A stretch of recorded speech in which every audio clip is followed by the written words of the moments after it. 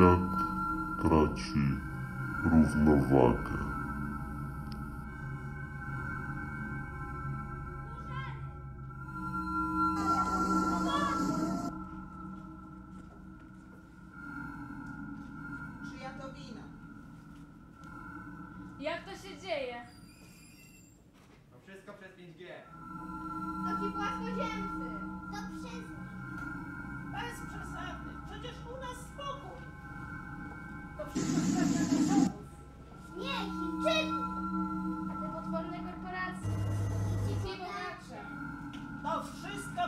Chciwość.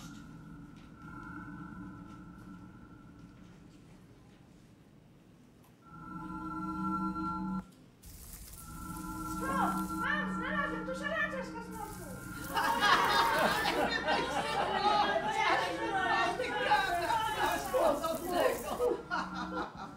Pojawiły się głosy, że to wina jakichś złych sił pochodzących z kosmosu, które znalazły na Ziemi nikczemnych wspólników. Widzicie? Słyszycie? Ja też mam to naprawdę wielka szarańcza z kosmosu. Raczej ich wspólnicy na Ziemi. To z kim walczyć? Z trucicielami. Jeżdżą, latają, niszczą nam środowisko. Ale jak walczyć? Jeszcze być nam drzewa. Nie tylko wszędzie Właśnie sobie zrobić. To wszystko przez waszą głupotę. Tak, głupota. Chyba wasza. To przerwa. Nie, nie damy się. Nie damy. Budujmy mur. Tak, budujmy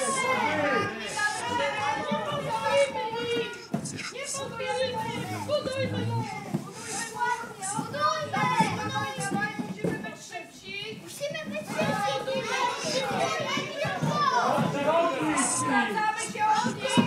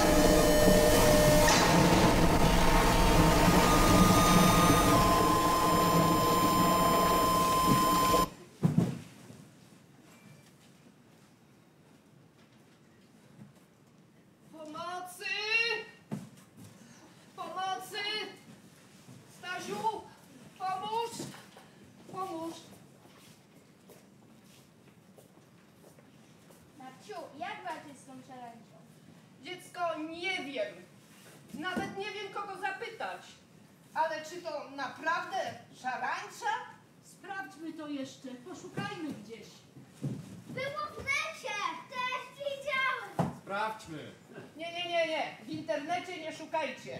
Lepiej zapytać kogoś mądrego, doświadczonego, jakiś autorytet. Słuchajcie, mam tu wiersze Szymborskiej. Posłuchajcie. Nienawiść. Spójrzcie, jaka wciąż sprawna, jak dobrze się trzyma w naszym stuleciu nienawiść, jak lekko bierze wysokie przeszkody, jakie to łatwe dla niej skoczyć, dopaść. Ale skąd ta nienawiść? Kiedy to się zaczęło? Jak to dlaczego? Tak. I po co? Nienawiść trzeba pokonać. Od wielu wieków wierzyliśmy, że człowiek to brzmi dumnie. Byliśmy dumni, opanowując strach przed nieznanym, doskonaląc swoje umiejętności, wykorzystując zasoby ziemi. Rozwiązywaliśmy problemy, zwalczyliśmy choroby, wymyśliliśmy szczepionki, wysłaliśmy człowieka w kosmos. Marzyliśmy o przyszłości świata, pięknej, bezpiecznej, ostatniej.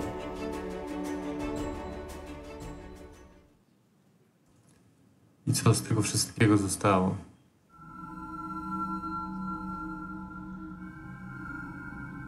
z wykładu noblowskiego Olgi Torkarczuk. Nasi przodkowie wierzyli, że dostęp do wiedzy przyniesie ludziom nie tylko szczęście, dobrobyt, zdrowie i bogactwo, ale że stworzy społeczeństwo równe i sprawiedliwe.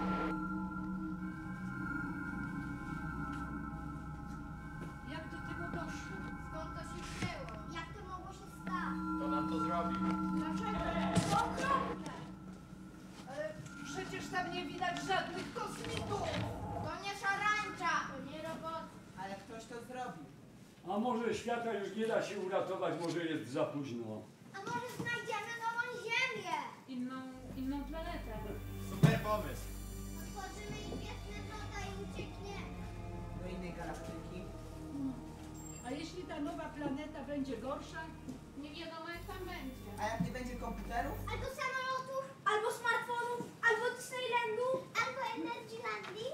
A jeśli tą nową planetę też zniszczymy? A jeśli w ogóle nie znajdziemy nowej planety? Nie, słuchajcie, trzeba zacząć od nowa. Ale razem. Razem! Razem dobry pomysł. Ale słuchajcie,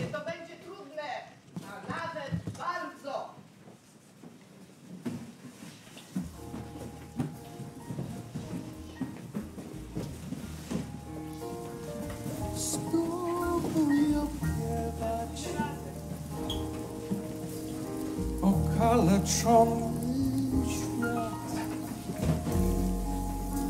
Pamiętaj o długich dniach czerwca i poziomkach, o pokrzywach, którymi zarosły opuszczone domostwa wygnanych i o kroplach wina rosę musisz opiewać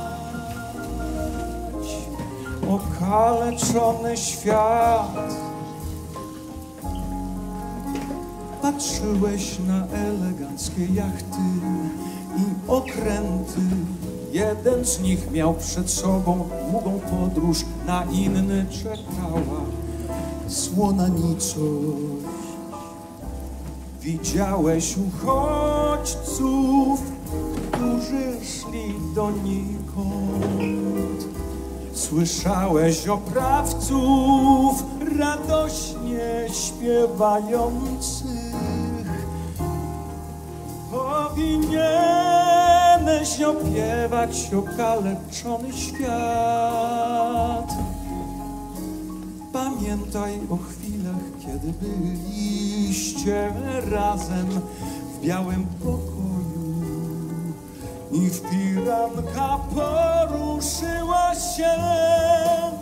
Wróć myślą do koncertu, kiedy wybuchła muzyka, a liście wirowały nad bliznami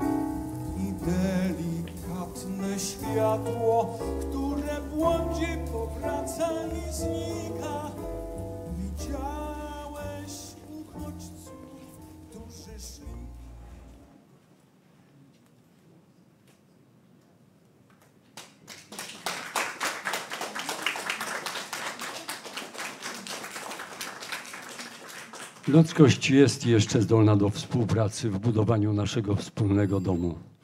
Papież Franciszek, Laudate Si. Wierzę, że źdźbło trawy jest nie mniej ważne. Wierzę, że źdźbło trawy jest nie mniej ważne niż kunszt gwiazd. A mrówka jest tak samo doskonała jak ziarnko piasku i jajko strzyżyka a krowa pasąca się z pochylonym łbem przewyższa każdy pomnik.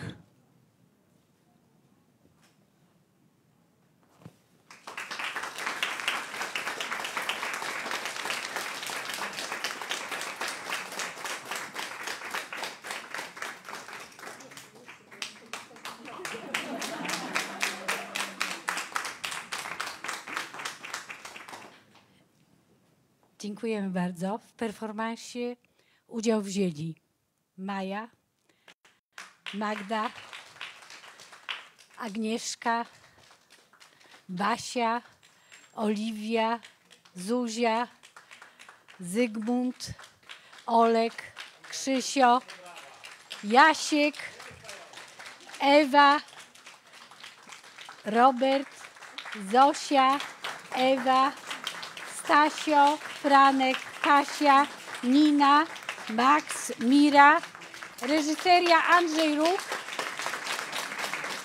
multimedia Jasiek Tuszewski. Dziękujemy bardzo.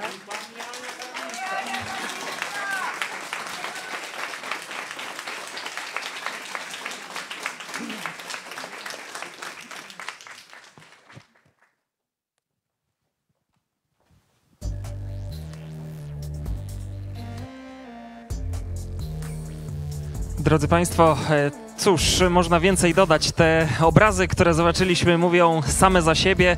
W związku z tym, z racji tego, że zgodnie z maksymą chińską obraz wyraża więcej niż tysiąc słów, to ja ograniczę się e, tylko do tego, że w kwestii interpretacji e, tego performance'u zostawię Państwa samych sobie z tym metaforycznym, rzekłbym nawet alegorycznym przekazem i zaproszę Państwa na e, przerwę kawową, a spotkamy się z Państwem e, punktualnie o godzinie 16.15 w sesji Q&A. Nie psujcie nam świata o relacjach międzypokoleniowych. To wszystko za e, 30 minut, a jeszcze raz e, wszyscy z sali z gromkimi oklaskami dla wszystkich performance'ów.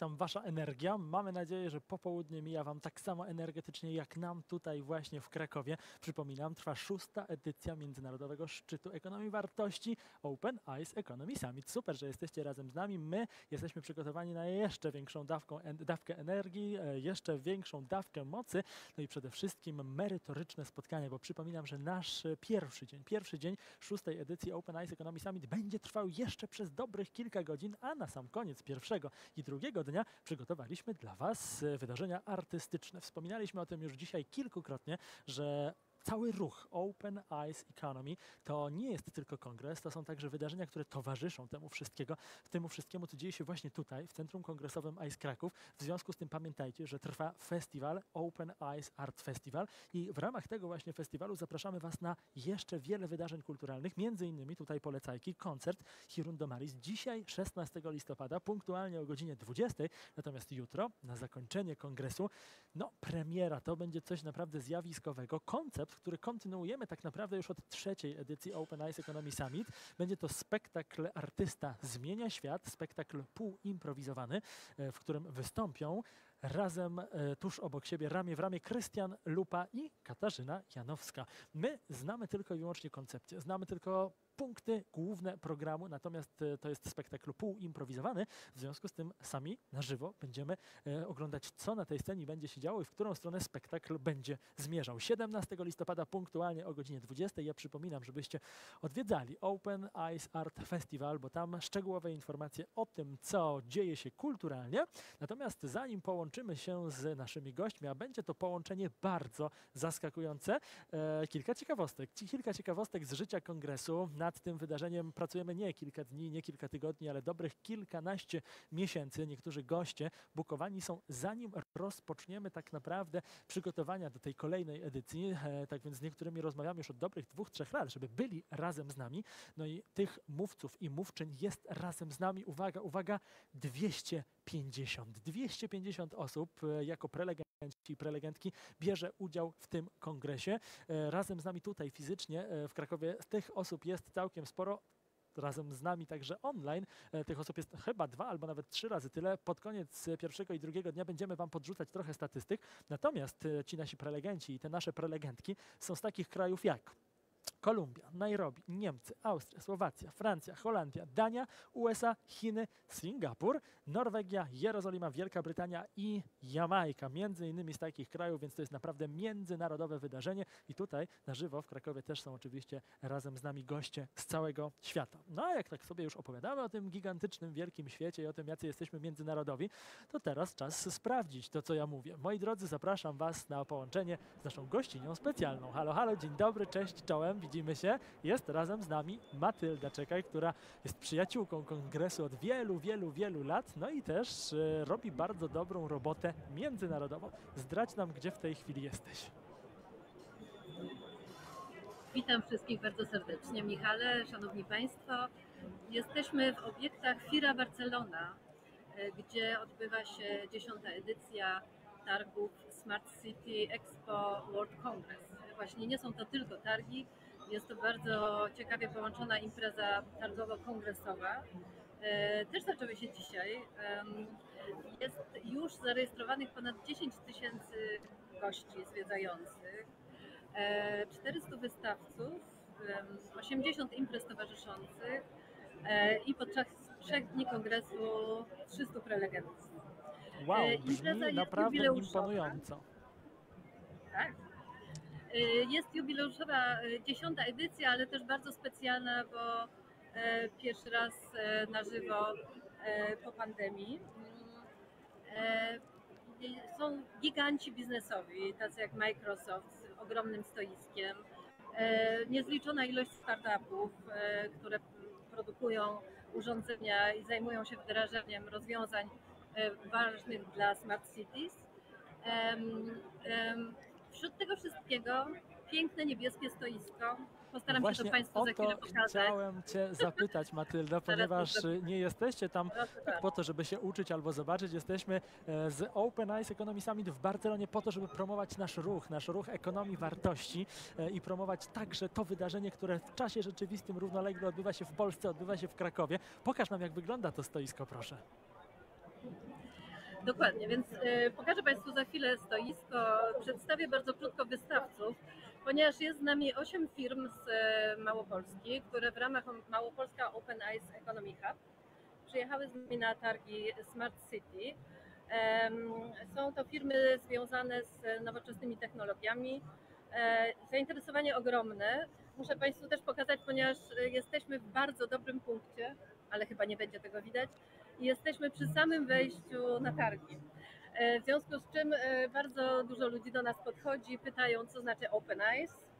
e, i czym jest ekonomia wartości. Tłumaczymy, promujemy, udostępniamy. Bardzo nas to cieszy, świetnie się tego słucha. Faktycznie miejsce przy głównym wejściu do tego kongresu, do tego wydarzenia partnerskiego dla nas, e, no to jest chyba też bardzo nobilitująca sprawa. E, No i mamy nadzieję, że uda się też nawiązać wiele relacji biznesowych, bo wspomniałaś o tym programie, o tym projekcie, który jest realizowany w ramach ruchu, w ramach, w ramach think tanka Open Eyes, Małopolska Open Eyes Economy Hub, podczas, w ramach właściwie którego e, promujemy małe i średnie przedsiębiorstwa z Małopolski, które mają potencjał na to, żeby zawojować świat. Kto jest w takim razie z Tobą? Dokładnie. Lecimy po kolei. Pierwsza firma, Early. Proszę się przedstawić. E, Dzień dobry, reprezentujemy firmę Early. Zajmujemy się dostarczaniem informacji na temat jakości powietrza. E, Bardzo się cieszymy, mogąc się być e, w Barcelonie i móc rozwijać nasz biznes za granicą. Super, dziękujemy. dziękujemy. Tak jest. Kto jest Idziemy jeszcze razem dalej. z nami?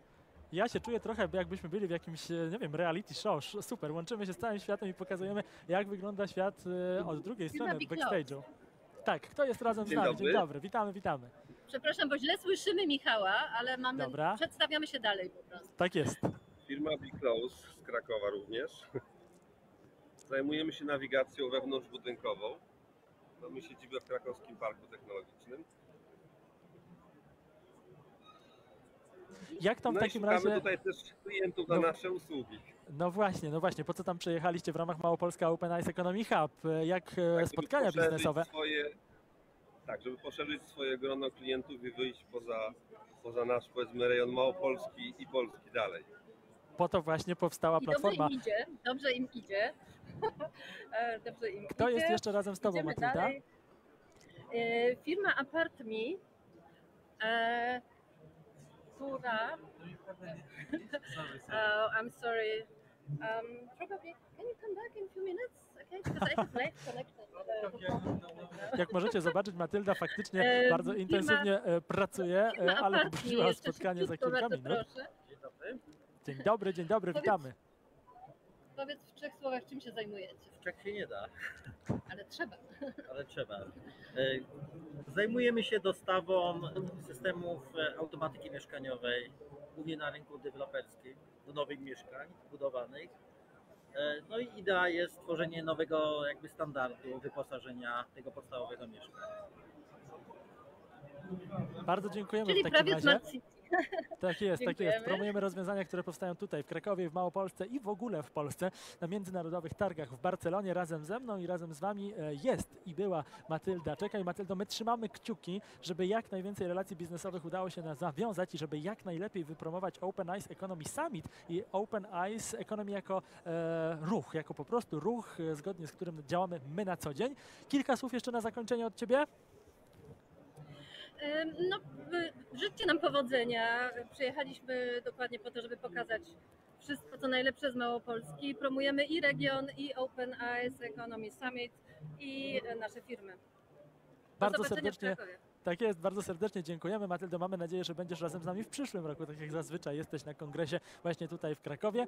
E, No a jeśli mówimy o partnerach, jeśli mówimy o naszych przyjaciołach, to ja przypominam, że tutaj nade mną, dokładnie tutaj, e, jest mnóstwo przycisków i podstron tak naprawdę naszej platformy kongresowej. Zapraszam Was, żebyście zwiedzali, klikali, chodzili, sprawdzali. Ja dzisiaj rano opowiadałem o tym wszystkim, natomiast dla tych, którzy nie byli razem z nami na samym początku, czyli od samego rana, przypominam, co jest nad nami, bo nad nami oczywiście jest strefa networkingu. Tam Was e, serdecznie zapraszam po to, żeby nawzajem się poznawać, ponieważ mimo, że to jest wydarzenie online, to również możemy networking prowadzić, możemy tak zwane uprawiać minglowanie, czyli chodzenie od miejsca do miejsca lub też e, poznawać e, kolejne osoby. Bardzo Was serdecznie do tego zachęcam, ponieważ my wierzymy głęboko w to, że wszyscy na kongresie jesteśmy równi, niezależnie czy rozmawiacie z prezeską globalnej korporacji, czy z dyrektorem narodowej instytucji, a może rozmawiacie po prostu z kolegą po fachu, wszyscy jesteśmy jesteśmy dla siebie równi i bardzo zachęcamy Was do tego, żeby networkingować, poznawać się i nawiązywać relacje, bo po to są także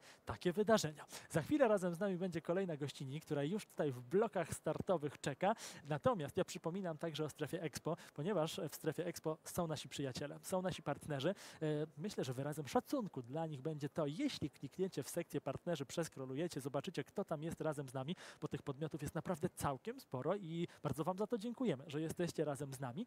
Natomiast e, Was prosimy po prostu, żebyście zajrzeli na wirtualne stoiska, ponieważ tam na Was czekają także niespodzianki oraz pracownicy tych podmiotów, tych firm i tych instytucji, które są razem z nami. E, No i można nawiązać z nimi bezpośrednią relację. Bardzo serdecznie Was zachęcam do tego, a teraz e, no dajcie nam jak zwykle kilkanaście sekund po to, żeby przywitać tutaj w naszym studiu kongresowym kolejną gościnę. Do zobaczenia.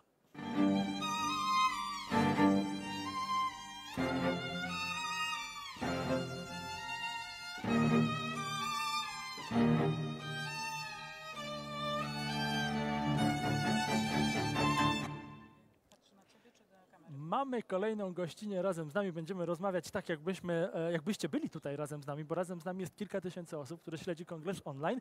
Olga Brzezińska, prezeska Fundacji Miasto Literatury, ale też po prostu przyjaciółka festiwalu. Który to jest twój raz na, festi- na festiwalu, Boże, na kongresie? Na kongresie jestem od samego początku. Byłam na każdym kongresie, również na tym przedziwnym, pandemicznym w zeszłym roku. Także miałam tę przyjemność i mogę powiedzieć, jestem weteranką tego kongresu. Tak, ja też tro- trochę czuję już jak taki OS-owy dinozaur, ale to chyba dobrze, bo ja mam takie wrażenie, że te wartości, o których my opowiadamy, po prostu trochę też we mnie wrosły. Ja się zacząłem tym bardzo interesować, śledzę publikacje, śledzę kanały w mediach społecznościowych. Natomiast e, przejdźmy do tego roku. W tym roku e, rozmawiamy o łączeniu generacji. To jest nasz temat przewodni. Myślę, że to nie jest e, w żaden sposób zaskoczenie. Przypominam o tym całkiem sporo w magazynie. Natomiast e, twoja, e, znaczy prelekcja, w której uczestniczyłaś, czy też e, sesja, w której uczestniczyłaś, chyba nie pojawia się na kongresach ekonomicznych taka tematyka TikTok. Zdecydowanie nie, ale cieszę się, że pokazałeś ten magazyn, bo jeżeli e, chcemy więcej porozmawiać o tym, jak możemy budować dialog międzypokoleniowy, to ja miałam przyjemność na zaproszenie organizatorów kongresu napisałam tekst otwierający ten magazyn, e, pokoleniowa odnowa, pokolenia od nowa, więc bardzo zapraszam do lektury. E, to jest jedna rzecz. A druga rzecz to kongres Open Economy Summit, Open Eyes Economy Summit. To jest kongres, który łączy rzeczy nieoczywiste. E, Łączy ogień z wodą, łączy kawę z mlekiem, łączy różne rzeczy i łączy też e, pokolenia. My mieliśmy e, przyjemność wysłuchać sesji, którą ja z kolei miałam zaszczyt poprowadzić, w której wzięły udział dwie bardzo ważne osoby. Filozof, pisarz, publicysta dr Piotr Stankiewicz, współczesny stoik i szef Public Policy i Government Relations z TikToka, e, Jakub Olek. I rozmawialiśmy w panelu, który nazwaliśmy Stoik na TikToku. Wydawać by się mogło połączenie trudne, na pewno nieoczywiste, ale okazało się, że w wielu kwestiach się zgadzamy. W związku z tym ten most jest dużo łatwiej budować niż nam się stereotypowo wydaje. Może stoik znaleźć coś dla siebie na TikToku, a i TikTok może skorzystać z tego, że ktoś, kto ma bardzo ważne treści do przekazania, mówi o wspaniałych rzeczach, znajdzie tam swoje miejsce. Bardzo mi się podoba to, co właśnie w tej chwili powiedziałaś, ponieważ rola mediów społecznościowych w naszym życiu w ciągu ostatnich kilku lat bardzo się zmieniła. Owszem, media społecznościowe powstały po to, żeby nas łączyć, e, żeby zbliżać nas bardzo często mimo odległości, ale też e, w ostatnich latach media społecznościowe po prostu nas uczą. I teraz najbardziej popularne są te profile, zwłaszcza na Instagramie i zwłaszcza na TikToku, które przekazują nam jakąś wartość, które nas uczą. Czy ty jesteś aktywną uczestniczką e, mediów społecznościowych? Oczywiście, że tak. Wydaje mi się, że e, trzeba przyjąć do wiadomości i zaakceptować to, że to jest rodzaj komunikowania się. Rozmawiamy tak jak my teraz twarzą w twarz, rozmawiamy przez telefon, rozmawiamy przez różnego rodzaju media i społecznościowe i takie, które są też rozrywkowe, bo TikTok nie jest platformą społecznościową, sami się tak nie identyfikują, są platformą rozrywkową, ale rozrywka nie musi być głupia i przez rozrywkę możemy przekazywać też mądre i ważne treści. W związku z tym dobrej, mądrej rozrywki e, trzeba pomagać i trzeba jej sprzyjać. My jako Open Eyes Economy, jako ruch e, ekonomii wartości też jesteśmy bardzo aktywni w mediach społecznościowych i zachęcamy Was do tego, żebyście byli razem z nami, żebyście śledzili nas na Facebooku, na LinkedInie, gdzie jesteśmy teraz coraz bardziej aktywni oraz oczywiście także w innych mediach społecznościowych i na YouTubie, ale ja jeszcze pozwolę się odnieść do Twojej roli jako moderatora, bo rozmawiamy tutaj merytorycznie o tym, e, co się działo, co się będzie działo, natomiast e, Ty jako moderatorka e, Chciałbym, żebyś opowiedziała, jak odbierasz kongres z tej właśnie perspektywy, bo są razem z nami uczestnicy online, są prelegenci, natomiast są osoby, które ten kongres tworzą, bo my jesteśmy takimi osobami, które wpływają na to, jaki jest odbiór tego, co zostało przygotowane. Jak ty siebie czujesz jako moderatorka, jako osoba, która tak naprawdę organizuje ten kongres? To przede wszystkim e, trzeba się wykazać ciekawością. Więc jeżeli programujesz cokolwiek to jest, czy jest to wydarzenie kulturalne, czy jest to wydarzenie edukacyjne, czy to jest kongres, który łączy w sobie i wartości edukacyjne, i kulturalne, e, i takie treści e, publicystyczne, to trzeba być ciekawym.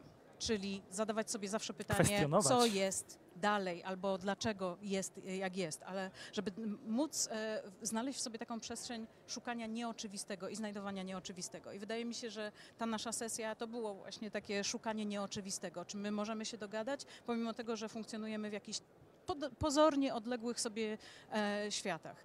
I e, w swojej roli e, moderatorki takiej sesji przede wszystkim kieruję się ciekawością, po drugie szacunkiem dla moich rozmówców i mam też zawsze na myśli tych wszystkich, którzy nas oglądają i słuchają, bo ta sesja ma nie, za, nie tylko zaspokoić moją ciekawość, ale ma przede wszystkim odpowiedzieć na pytania i na ciekawość naszej wspaniałej publiczności, która na żywo komentuje, zadaje pytania, pogłębia, chce wiedzieć więcej. Bardzo dziękuję za tę rozmowę. Tutaj Olga jeszcze powiedziała o bardzo ważnym słowie, kluczowym dla nas, ponieważ w wydawnictwie Pokolenia Solidarni w Rozwoju sporo mówimy właśnie o szacunku i sporo mówimy też o zaufaniu, którego w ostatnim czasie trochę chyba nam w społeczeństwie polskim niestety brakuje i naszą rolą podczas takiego kongresu i organizatorów rolą jest to, żeby nagłaśniać te kwestie, że tylko i wyłącznie dzięki temu, że będziemy sobie ufać, będziemy sobie rozmawiać i będziemy otwarci, będziemy mieć otwarte oczy na drugiego człowieka, możemy po prostu się rozwijać i razem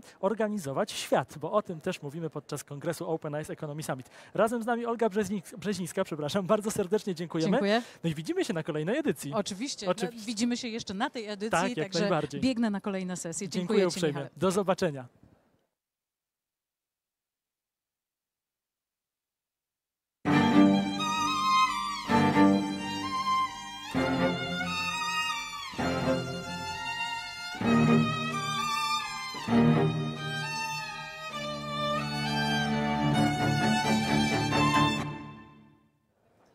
Jedna z niezwykle istotnych, ciekawych, wartościowych i kwestionujących rzeczywistość ścieżek tego kongresu to ścieżka, która poświęcona jest streamingowi, czyli dokładnie temu, co robimy właśnie w tej chwili oraz gamingowi. Razem z nami miał być Mateusz Myślony, który niestety gdzieś tutaj się nam zawieruszył w tej OS-owej e, plątaninie z osób, e, spotkań, e, prelekcji i tak dalej, ale mamy nadzieję, że jeszcze do nas trafi. My Mateusza serdecznie pozdrawiamy. Natomiast ja mam dla Was pewnego rodzaju zaproszenie. Razem z nami dzisiaj e, podczas kongresu była Martyna Kaczmarek. Nie wiem, czy znacie Martynę. Martyna jest instagramerką, autorką książki Feminizmy, powtórzę, Feminizmy, o współczesnym feminizmie, o różnorodności i o nowoczesnym marketingu. I my mówimy o tym nie bez przyczyny, ponieważ podczas e, dzisiejszego dnia, podczas jednej ze ścieżek tematycznych rozmawialiśmy o roli kobiet w organizacjach, w kulturze organizacyjnej. I Martyna e, wydała całkiem niedawno książkę. Bardzo Wam tę książkę polecamy. Ja sobie pozwolę odczytać dosłownie kilka zdań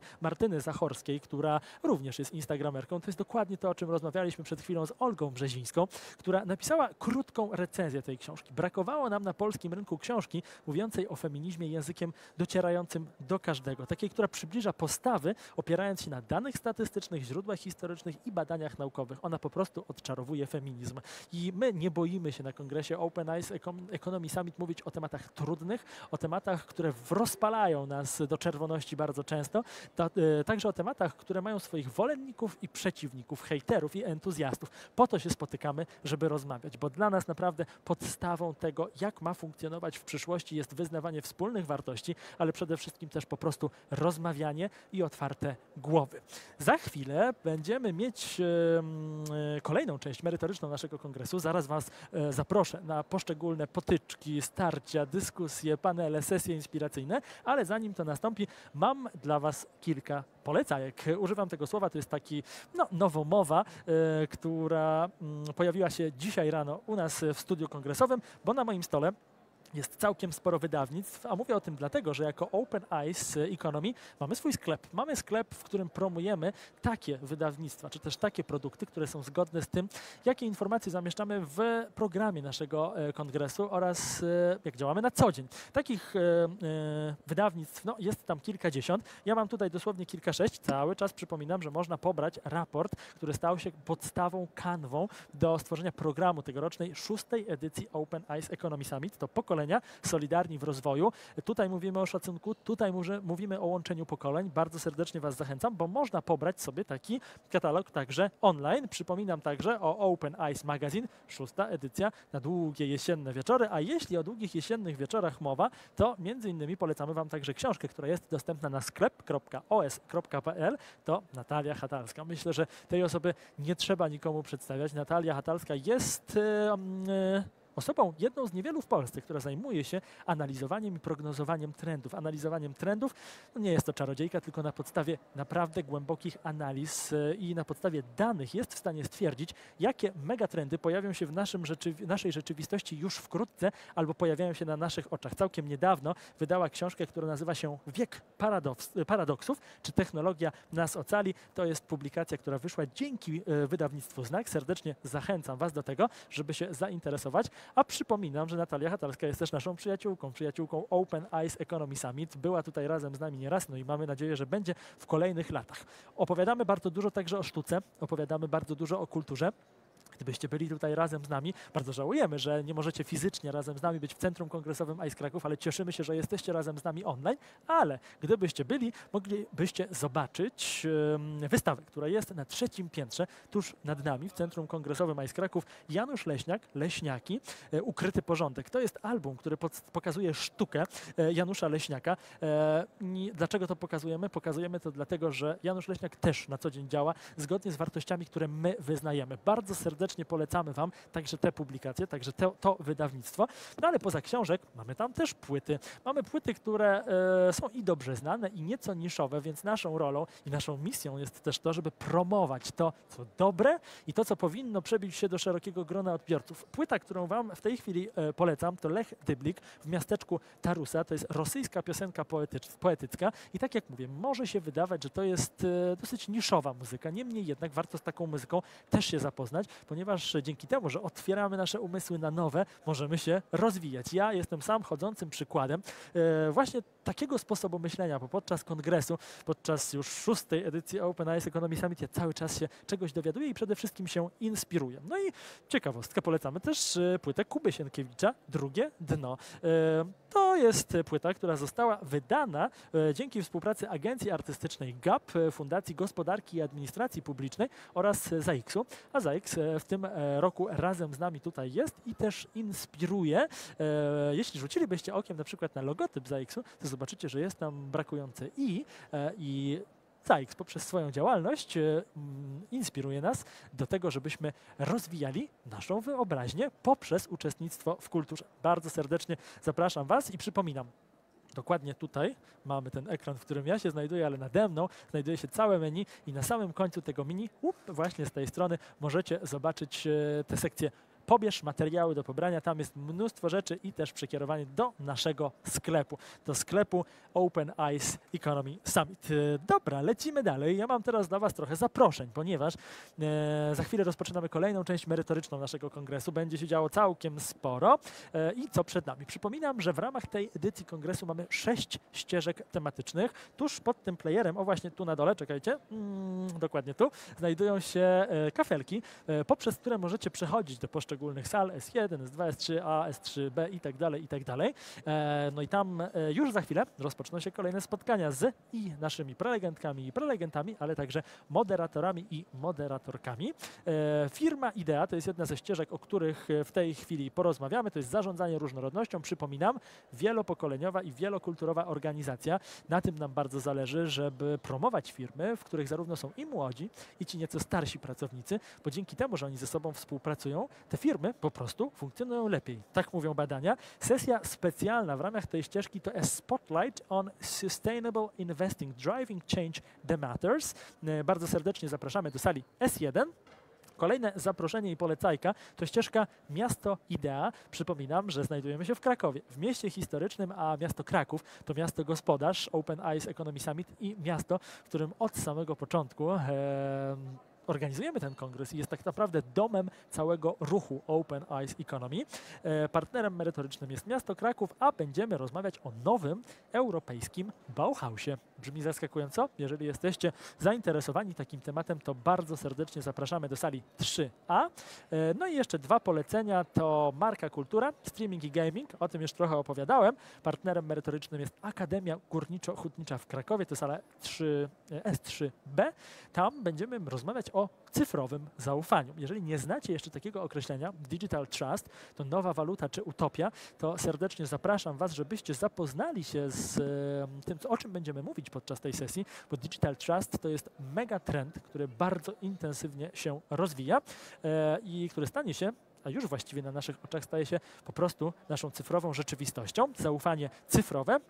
I ostatnie zaproszenie to Karpaty. O tym już rozmawialiśmy dzisiaj całkiem, całkiem sporo, więc niewyczerpalne możliwości Orange Economy, czyli ekonomii opartej na kreatywności i na potencjale intelektualnym nas wszystkich. To są specjalne zaproszenia, a ja już teraz zapraszam także na sesję plenarną, która będzie kończyć pierwszy dzień naszego spotkania. O tym jeszcze poopowiadam i tam między innymi Retooling the Free World. Będziemy rozmawiać o administracji Bidena, następnie rola Stanów Zjednoczonych w kształtowaniu nowego ładu międzynarodowego i trzecie zaproszenie to sesja, jakiego państwa chcemy, a jakiego tak naprawdę potrzebujemy.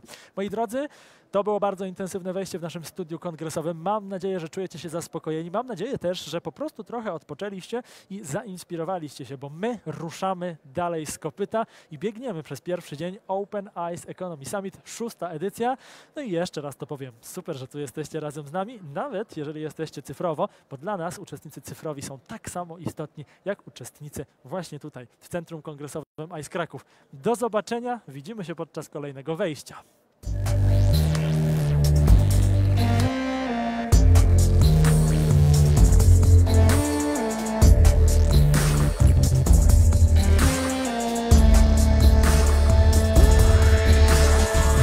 A wiesz jak zaoszczędzić majątek na meblu? No. Trzeba wybrać najdroższy.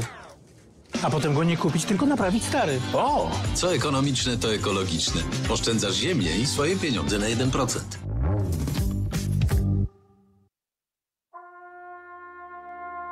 There is a place in the center of Europe where everything is possible. And every moment can mean everything. We will take you on a journey you will never forget, where imagination meets science and entrepreneurial creativity. Unique, our Krakow experience. Ale piękny. No piękny, ale jak siedzisz w środku, tego nie widzisz. Za to widzisz, ile pali. Co ekonomiczne, to ekologiczne. Oszczędzasz ziemię i swoje pieniądze na 1%.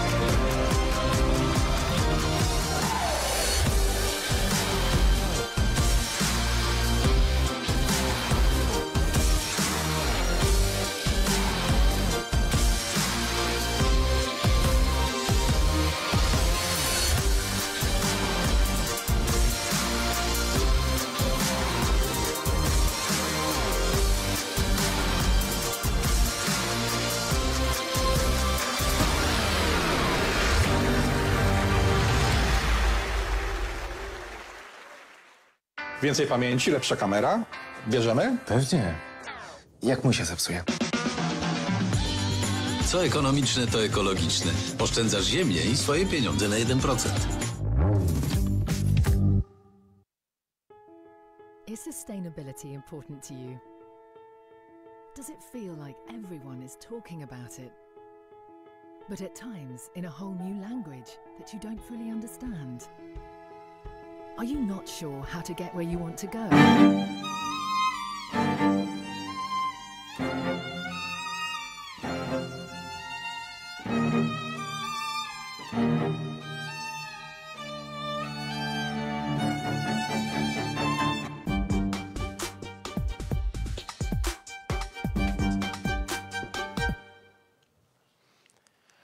Szanowni Państwo, witamy niezwykle serdecznie po przerwie. To kolejny akord e, naszych wydarzeń, naszych dyskusji e, w sali e, 4B. Drodzy Państwo, przechodzimy do sesji QA, Questions and Answers.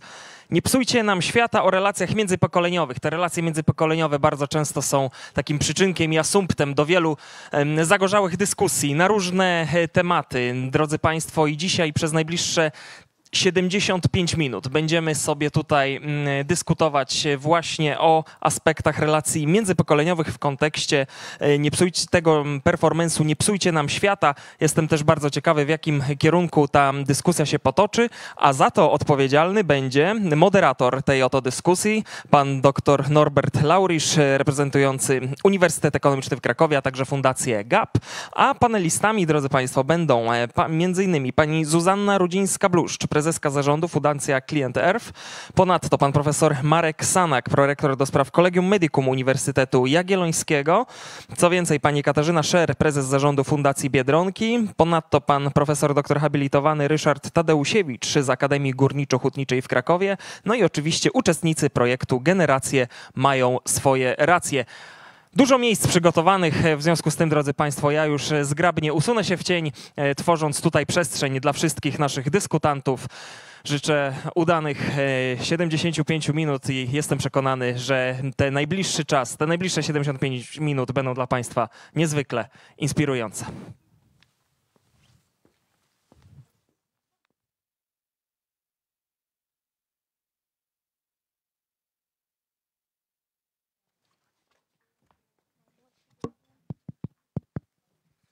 Szanowni,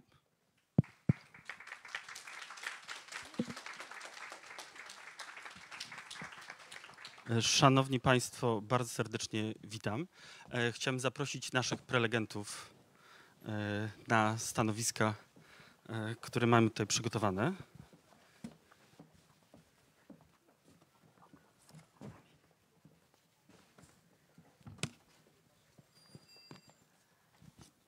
Zapraszam serdecznie.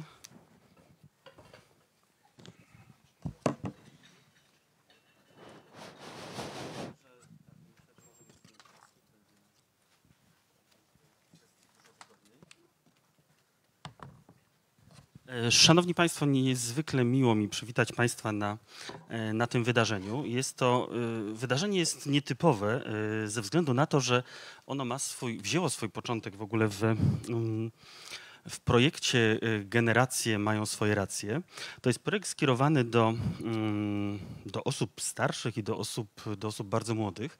I jego celem jest e, wsparcie, e, wzmożenie dialogu międzypokoleniowego.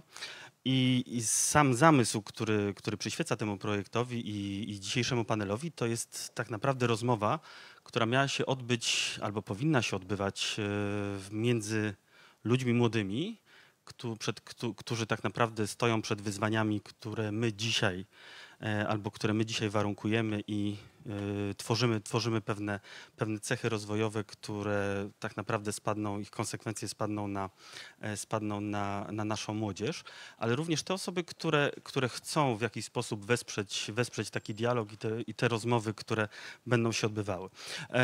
Projekt ten jest, projekt ten jest finansowany finansowany, znaczy ja tak naprawdę powinienem Państwu wszystko, wszystko powiedzieć, e, wszystko powiedzieć merytorycznie, e, znaczy informacyjnie, jeżeli chodzi o kwestię, kwestię finansowania projektu i już to zrobię, e, bo akurat tak się złożyło, że przygotowałem sobie wszystkie te informacje, ale wszedłem za szybko i, i mi się nie udało tego wszystkiego powiedzieć, za co bardzo przepraszam.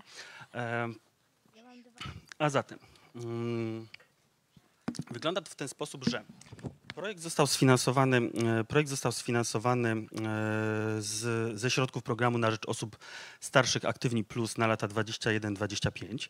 E, Sesja ta, która tutaj się odbyła, jest powiązana z performancem, który, jak rozumiem, Państwo widzieliście, ale również z wystawą, która odbywa się na, na poziomie zero w Centrum Kongresowym. Także zapraszam Państwa do obejrzenia, obejrzenia tych prac. Natomiast clue całego, całego naszego dzisiejszego spotkania to jest rozmowa, e, osób, uczestników projektu, czyli osób juniorów i seniorów e, z naszymi ekspertami. I e, chciałbym oddać im głos już na samym wstępie, ponieważ mamy przygotowane, mamy przygotowane pytania. E, Pytania będą też, będą też zadawane z, przez osoby, które nas oglądają w sieci, także, także na bieżąco mam nadzieję będziemy, będziemy na te pytania, będziemy na te pytania odpowiadać. Szanowni Państwo, szanowni, rozumiem najpierw młodzi nasi, e, nasi uczestnicy, e, bardzo Was proszę i zachęcam o, do zadawania pytań. Kto zacznie?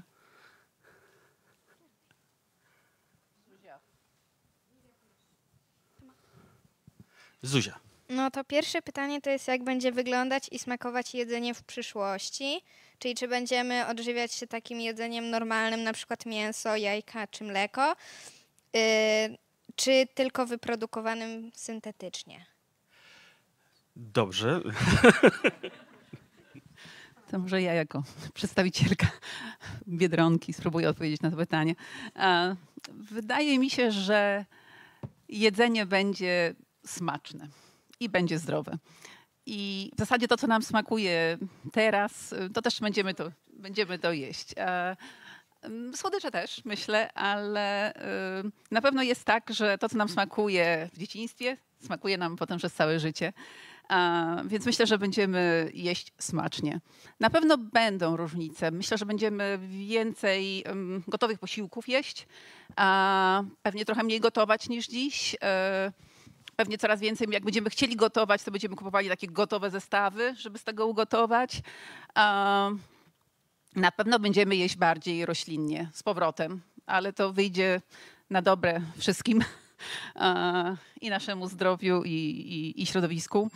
E, I faktycznie myślę, że w dłuższej perspektywie jest szansa, że produkty e, mięsne czy nabiałowe będą produkowane bez zabijania zwierząt. To w dłuższej perspektywie jestem w stanie sobie wyobrazić. Dzisiaj już to jest robione, ale jest drogie. Myślę, że to stanieje i tak też będzie. Ale też jest sporo mowy o tym, że na przykład zamiast kurczaka będziemy jeść algi albo owady jako źródło białka. Natomiast jestem przekonana, że będzie nam to bardzo dobrze smakować. Dziękuję. To ja, to ja tak w, w kwestii uzupełnienia.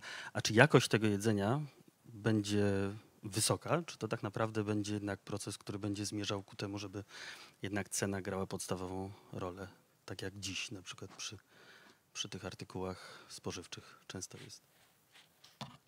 Czy myślę, że mm, w ogóle, żeby możliwe było wyżywienie mm, dużej, rosnącej liczby ludzi, to, y, to będą potrzebne duże zmiany technologiczne i to zarówno w takim tradycyjnym rolnictwie, żeby podnieść wydajność, jak i będą się rozwijać zupełnie nowe met- metody e, pozyskiwania żywności, nowe metody upraw. A co do jakości, to wydaje mi się, że technologia jest, e, jest wielkim sojusznikiem tutaj, że będzie możliwe kontrolowanie e, całego, całej tej drogi, jaką produkt e, z pola, zanim trafi do nas, e, jaką przebywa i czy, czy na pewno jest to produkt autentyczny i czy on jest kontrolowany.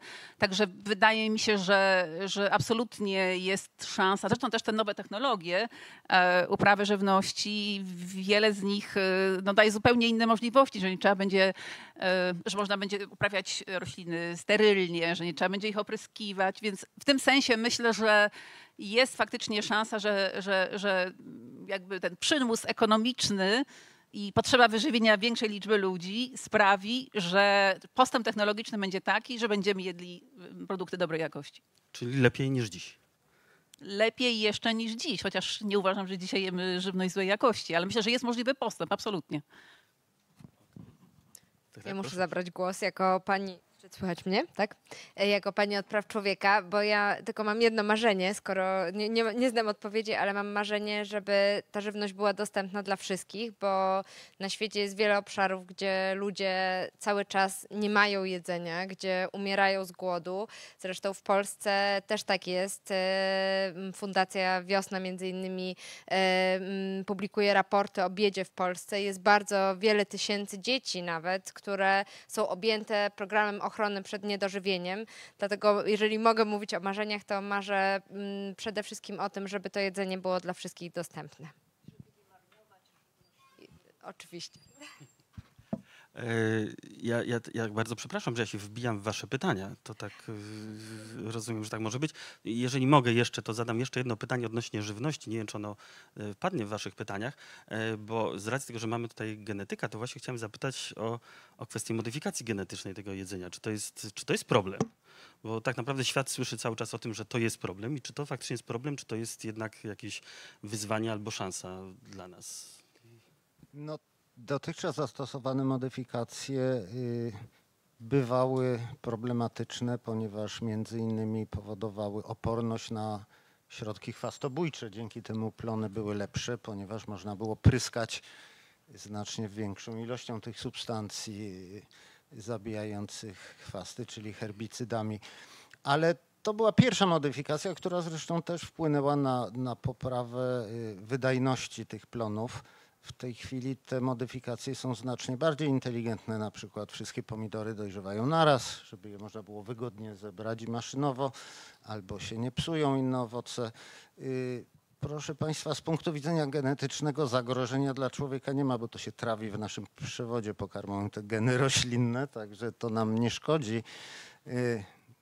Do dyskusji jest, y, czy któreś z tych wynalazków się nie rozsieją na polach i czy nie pojawi się kukurydza w wysokości słupów telegraficznych. Jeżeli by kolby miała stosownie duże, to może nie byłoby tak całkiem złe. Y, Nie wiem, czy jesteście w stanie sobie to wyobrazić, taką wielką kukurydzę, ale mogło być to, popcorn mógłby być całkiem, całkiem, może byłby tańszy w kinach wtedy popcorn, skoro byłby... Wielkości arbuza. To co, czekamy na kolejne pytanie. Czy zmieni się ciało człowieka w przyszłości, jego zmysły, możliwości fizyczne i psychiczne? Czy będziemy na przykład mądrzejsi, sprawniejsi fizy- fizycznie, będziemy mieli lepszą pamięć? Bardzo dobre pytanie, dziękuję. Od 120 tysięcy lat zasadniczo człowiek się nie zmienił w sensie budowy swojego ciała, zmysłów. Pewnie one tępieją w środowisku miejskim, jak jest dużo hałasu i y, zapachy y, smogu tłumią y, nasze powonienie. Ale to wystarczy parę dni na wsi, żeby to ustąpiło. Natomiast no, to jest bardzo powolny proces, także bym wolał, żebyś mi powiedział, o jakiej przyszłości myślisz. Czy to mają być setki lat, czy tysiące?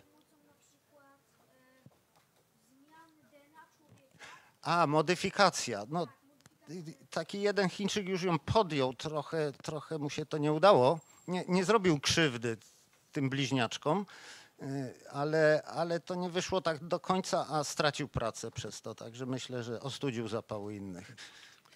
E, Jeżeli można, to e, z punktu widzenia technicznego, bo pan profesor mówi jako, jako medyk, natomiast ja zajmuję się inżynierią biomedyczną i wydaje mi się, że e, pewne szanse, jeżeli chodzi o e, ulepszanie, jeśli tak można powiedzieć, człowieka, e, tkwią w tym, że e, coraz więcej jesteśmy w stanie e, zastępować, w razie potrzeby oczywiście, e, narządy, organy, e, elementy e, naturalne, biologiczne e, przez e, urządzenia techniczne. To oczywiście jest dopiero początek bardzo długiej drogi i e, myślę, że no, e, co najmniej kilka pokoleń minie, e, zanim będziemy tą cyborgizację w gruncie rzeczy mogli potraktować jako metodę w pewnym sensie doskonalenia ale z drugiej strony możliwości w tym zakresie otwierają się bardzo duże.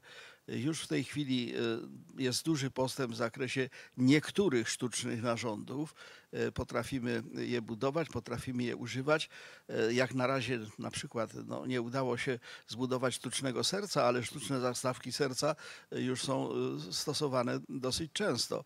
I wobec tego można sobie wyobrazić, że poprzez odpowiednie urządzenia techniczne będziemy człowieka w przyszłości mogli wyposażać po pierwsze w elementy, które oder w naturalnym, biologicznym procesie uległy uszkodzeniu, zniszczeniu. Czasami są to także y, elementy, które w sposób wrodzony y, są y, no, wadliwe i w związku z tym taki człowiek byłby skazany na, na, na kalectwo, a tymczasem technika postępuje naprzód. Być może uda nam się rozwiązać problem paraliżu, łącząc bezpośrednio sygnały z mózgu z sygnałami z rdzenia kręgowego sterującymi pracą, pracą mięśni. To wszystko nad tym się pracuje. To jest oczywiście instatu nascendi, to jest dopiero na początku, ale to na- następuje. Ja może skupię się na chwilę na y, narządach zmysłów. Postrzegamy świat tymi zmysłami, które posiadamy, jeśli je posiadamy. Y, Natomiast po pierwsze, no nie wszyscy mają te narządy równie sprawne. Ja na przykład mam przytępiony słuch, więc w związku z tym, jak będziecie coś do mnie mówili, to głośno.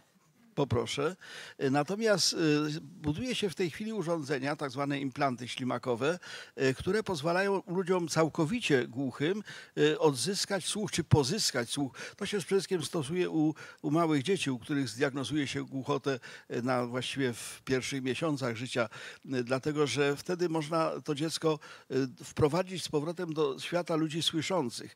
Inaczej ono będzie zepchnięte do tych, którzy tym językiem migowym się posługują i właściwie to jest, to jest pewne getto, to jest pewna, pewna zamknięta całość. Y, y, Implanty ślimakowe to urządzenia, które w największym skrócie mówiąc zamieniają sygnał z mikrofonu na sygnał bezpośrednio doprowadzany do mózgu poprzez ósmy nerw czaszkowy, poprzez mm, odpowiednie tam wszczepione elektrody. Y, To działa. To rzeczywiście w tej chwili już setki ludziom, setkom ludzi y, przywróciło słuch. Pracuje się bardzo intensywnie, chociaż jeszcze bez takich końcowych sukcesów nad y, sztucznym wzrokiem dla osób niewidomych. Y, Pracuje się nad różnego rodzaju y, udoskonaleniami y, naturalnych zmysłów. I tutaj pojawia się pewna kolejna potencjalna możliwość.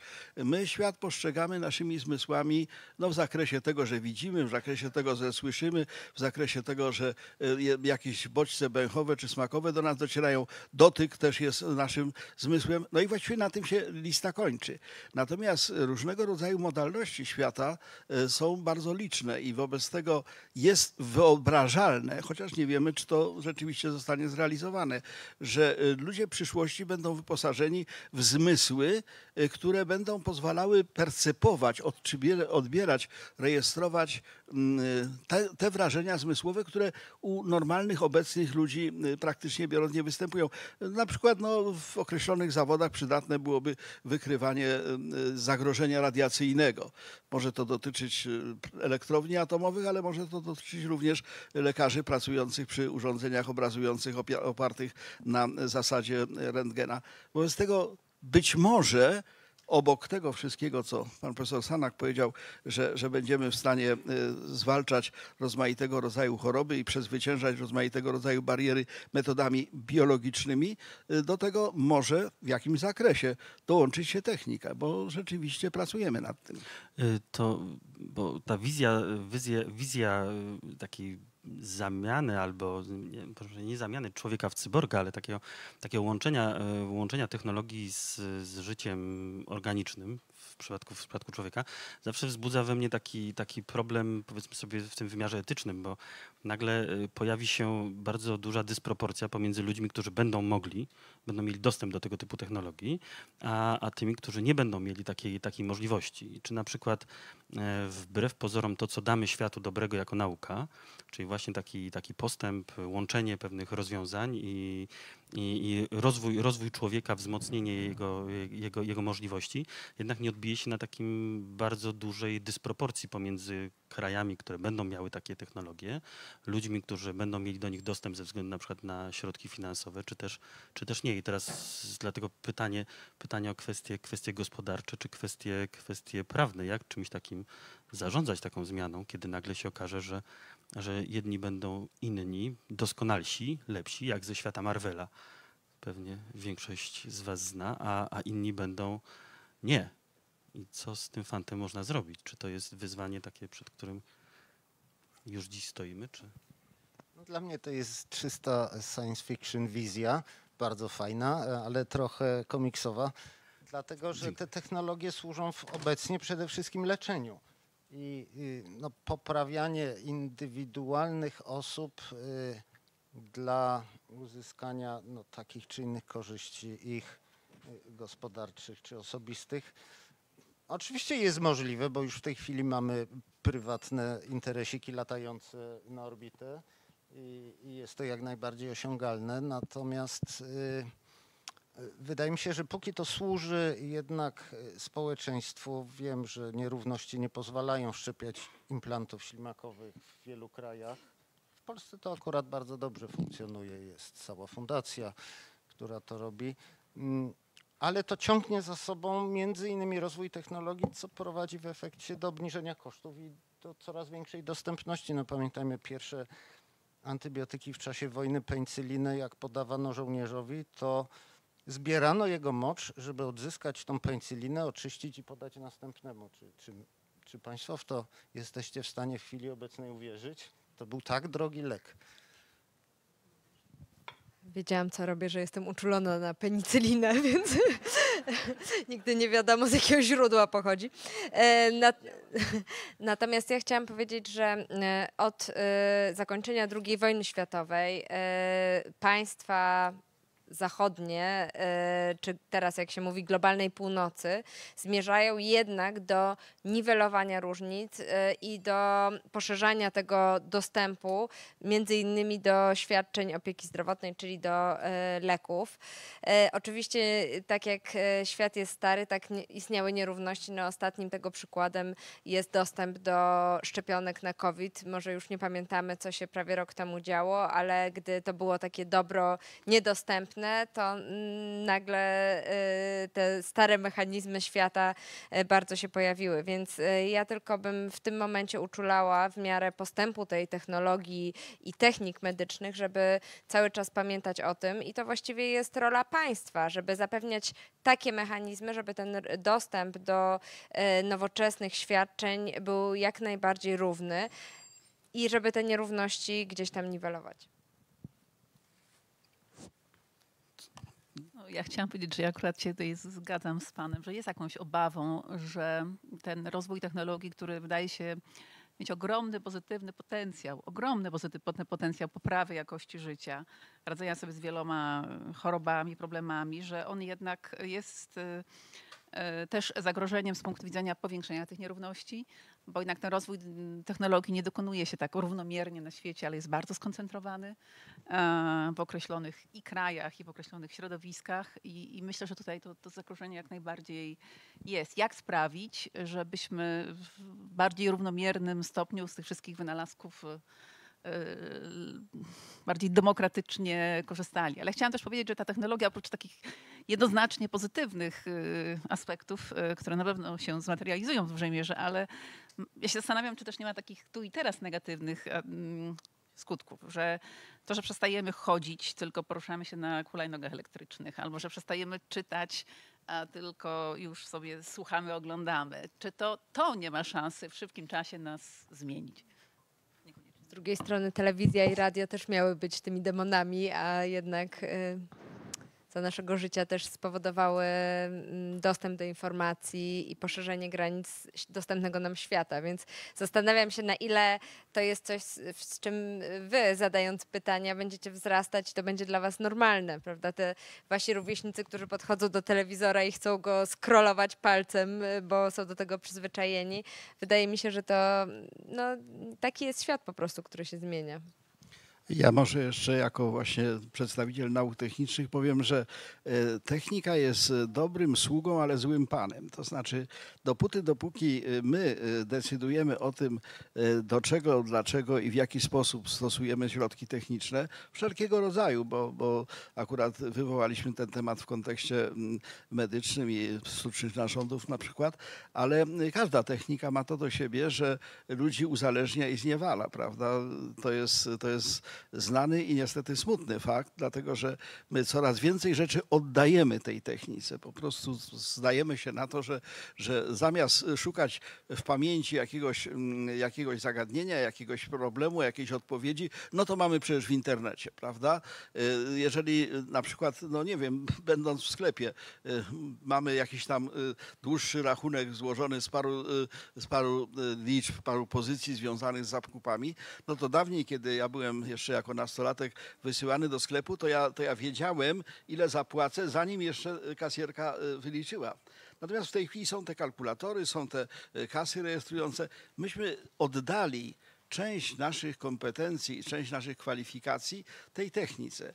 I tu właśnie pojawia się ten problem, e, który, który my jako inżynierowie odczuwamy, że powtórzę, technika jest dobrym sługą, ale złym panem. Natomiast my no, coraz częściej dla wygodnictwa powodujemy, że ta technika staje się panem. I, mamy problem z dodawaniem, to prawda, to nie ma co kryć. Słuchamy kolejnego pytania. E, Max? Jak zmieni się edukacja za 50 lat? W którym kierunku będą podążane szkoły i uniwersytety? Tak, to jest świetne pytanie. Naprawdę, naprawdę. Nie, powiem szczerze, ja jestem całym sercem za zrównaniem tego z ziemią i zbudowaniem wszystkiego od nowa. E, słucham, słucham Państwa. Kto, kto chciałby powiedzieć coś o edukacji? Może, może y, powiedzmy, ponieważ jestem nauczycielem akademickim, y, więc może parę słów na ten temat powiem. Oczywiście prognozować, jak to się zmieni, będzie no, bardzo trudno. W ogóle wszelkie prognozy są bardzo ryzykowne. To, to, to, to jest znane, znana sprawa, że, że, że większość prognoz, które się buduje z horyzontem nawet kilkudziesięcio czy kilkunastoletnim, jest jest potem falsyfikowana przez rzeczywistość. Natomiast jeżeli chodzi o naukę i nauczanie, wydaje mi się, że rola szkoły, i to poczynając od przedszkola, a kończąc na studiach doktoranckich, ona się zmienia w tym sensie, że dawniej rolą nauczania było przekazanie jak największej ilości wiadomości. Wiadomości. Czyli tam trzeba się było nauczyć, a kto odkrył Amerykę, a, a, a kiedy, że tak powiem, była bitwa pod Grunwaldem, a kto napisał Litwo Ojczyzno moja. Mnóstwo wiadomości.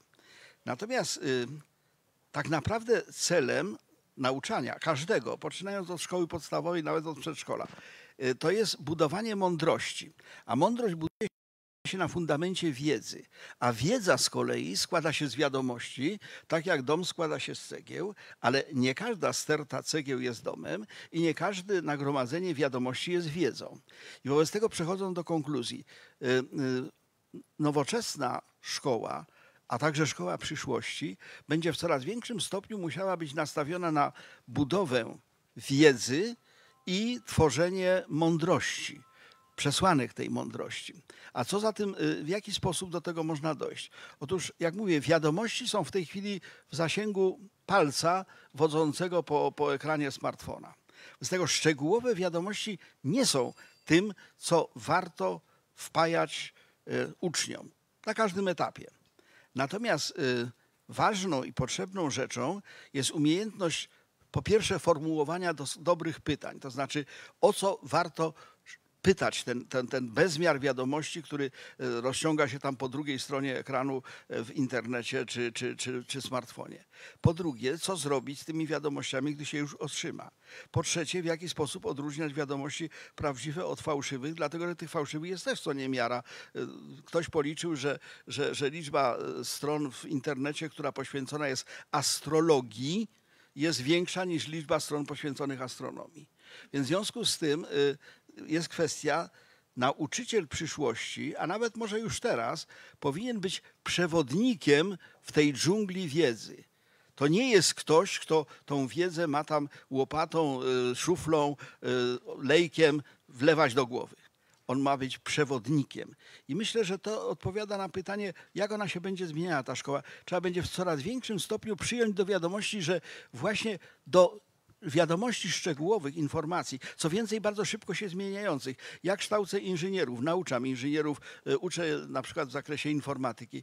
Przecież oni wychodząc po studiach, po kilku latach mają już wiedzę muzealną bo to się wszystko strasznie szybko zmienia. Dlatego ja muszę ich nauczyć, w jaki sposób oni mają pozyskiwać tą wiedzę na bieżąco, w jaki sposób formułować problemy, żeby w tym gąszczu, dżungli wiadomości współczesnego świata znaleźć swoją własną drogę i, y, i jak po prostu uczyć ich krytycyzmu w stosunku do tego wszystkiego, co jednak właśnie wraz z tymi przebogatymi zasobami wiadomości przychodzi. Szkoła się zmieni i to bardzo radykalnie, może nie w formie, ale w treści. Y, to stąd pytanie, bo e, akurat zawsze przychodzi mi przykład biologiczny. Przepraszam, że tak, tak wyjdzie, ale ja się zawsze zastanawiam, po co muszę wiedzieć, że fotosynteza ma fazę jasną i ciemną, prawda? Albo czym jest mitoza i mejoza E, a kiedy idę do lasu, to nie potrafię odróżnić grzyba jadalnego od, od trującego. I, I, zawsze to mnie zastanawiało w szkole, czy szkoła jednak y, tak naprawdę nie stała się taką ideą e, bezsensownej wiedzy encyklopedycznej, a przestała być kompletnie, ale to kompletnie użyteczna jeżeli chodzi o późniejsze życie, czyli na przykład właśnie o to, jak sobie radzimy, jak sobie radzimy z prostymi wyzwaniami w postaci idę do lasu albo chcę przesadzić kwiatka, albo jak na przykład pójdę później do pracy i będę chciał działać, nie wiem, otworzyć firmę i coś produkować, działać y, w kwestiach relacji międzyludzkich, w ogóle życia jako takiego. Czy to nie, nie stanowi głównego wyzwania i czy tak można konstruować dalej naukę i czy to nie, nie zaprowadzi nas w jakiś taki ciemny miejsce? Jestem y, blisko tej koncepcji, ale y, troszkę inaczej bym na to spojrzał, bo to, co Pan powiedział, to były głównie umiejętności, prawda? Umiejętności się wynosi z domu, uczy się w pierwszych klasach szkoły podstawowej, no, przyszyć guzik, naprawić coś w domu. Y, trudno kreować swoją przyszłość tylko w jednej umiejętności. Z drugiej strony pewnie mnóstwo osób by było szczęśliwych, gdyby do perfekcji opanowało y, pewne umiejętności, do których są predysponowane. Stąd ja sądzę, że szkoła przyszłości będzie zwracać bardziej uwagę na indywidualne możliwości osoby, będzie personalizowana. Nie wiem, jak to będzie zrobione, bo psychologia na razie chyba nie jest dostatecznie precyzyjnym narzędziem, żeby powiedzieć, ty będziesz dobrym muzykiem, a ty będziesz E, autorem kryminałów albo coś takiego, to się na razie odkrywa e, bardziej z przypadku. W związku z tym większość tych konstrukcji zwanych państwami, organizacjami edukacyjnymi postanowiło każdego przygotować po troszkę do wszystkiego. Mi się to wydaje marnowaniem niektórych, niektórych szans, umiejętności, talentów. Ja głęboko wierzę, że każdy z nas ma, jaki ta, ma jakiś talent, tylko nie zawsze się po niego schylił.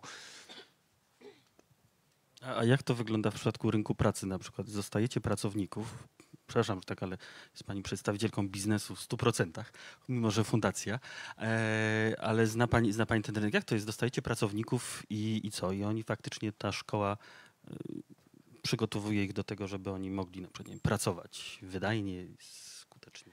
Na pewno to, co się zmienia już teraz, to jest, że, mm, że charakter y, że, że, że, sposób funkcjonowania nawet takich tradycyjnych branż, jakim jest y, sprzedaż żywności, wydaje się, że jest tradycyjna i że człowiek podobnie robi zakupy, jak jeszcze robił jakiś czas temu, ale paradoksalnie w handlu żywnością jest y, bardzo duże przyspieszenie y, zmian właśnie technologicznych.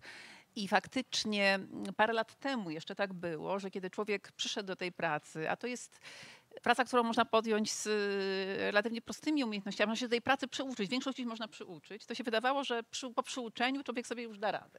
A teraz okazuje się, że, że nie wystarczy się przyuczyć. Człowiek właściwie cały czas musi się uczyć. I ja y, jakiś czas temu zbierałam dane dotyczące mm, takich y, jakby fal szkoleniowych, które przez ostatnie miesiące przeszły przez Biedronkę i, i tutaj jest już w tej chwili zauważalna różnica, że człowiek idąc do pracy będzie się musiał cały czas uczyć nowych rzeczy i i nauczy się uczyć, o to mi chodzi, że przestanie się też bać, że musi cały czas przechodzić jakieś, e, uczyć się nowych rzeczy.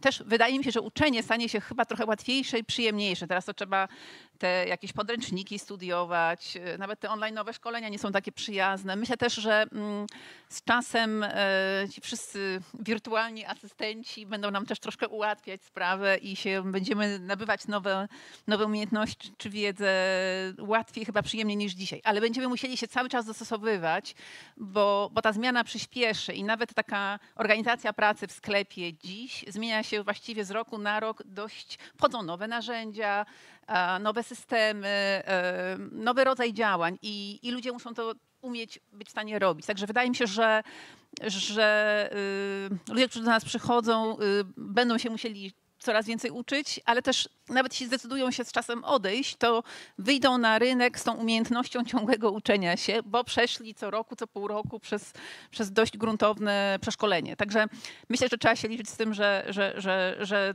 to przyspieszy ta potrzeba nabywania, a też jeszcze y, odnośnie szkoły, chociaż moje doświadczenie to głównie jest doświadczenie y, mamy trzynastolatka. Ja mam wrażenie, że z jednej strony jest tak, że ta szkoła jest przeładowana tymi informacjami, które trzeba zgodnie z podstawą programową wtłoczyć, a z drugiej strony są nauczyciele, którzy tą szkołę ratują. I to jest taka naprawdę, to są takie tysiące indywidualnych bitew staczanych przez nauczycieli, żeby, żeby te dzieci jak najlepiej jednak przygotować do tego zmieniającego się świata. Ja na przykład widzę zwrot w kierunku mm, umiejętności miękkich, umiejętności współpracy, pracy w grupach, tak? w różnych grupach. Także coraz więcej tej pracy, że ten projekt robisz w tej grupie, ale tej w tamtej grupie i ta umiejętność dostosowywania się do, do takich właśnie nie, nie publiczna, nie publiczna, ale widzę, widzę faktycznie, nie, nie jest to publiczna szkoła.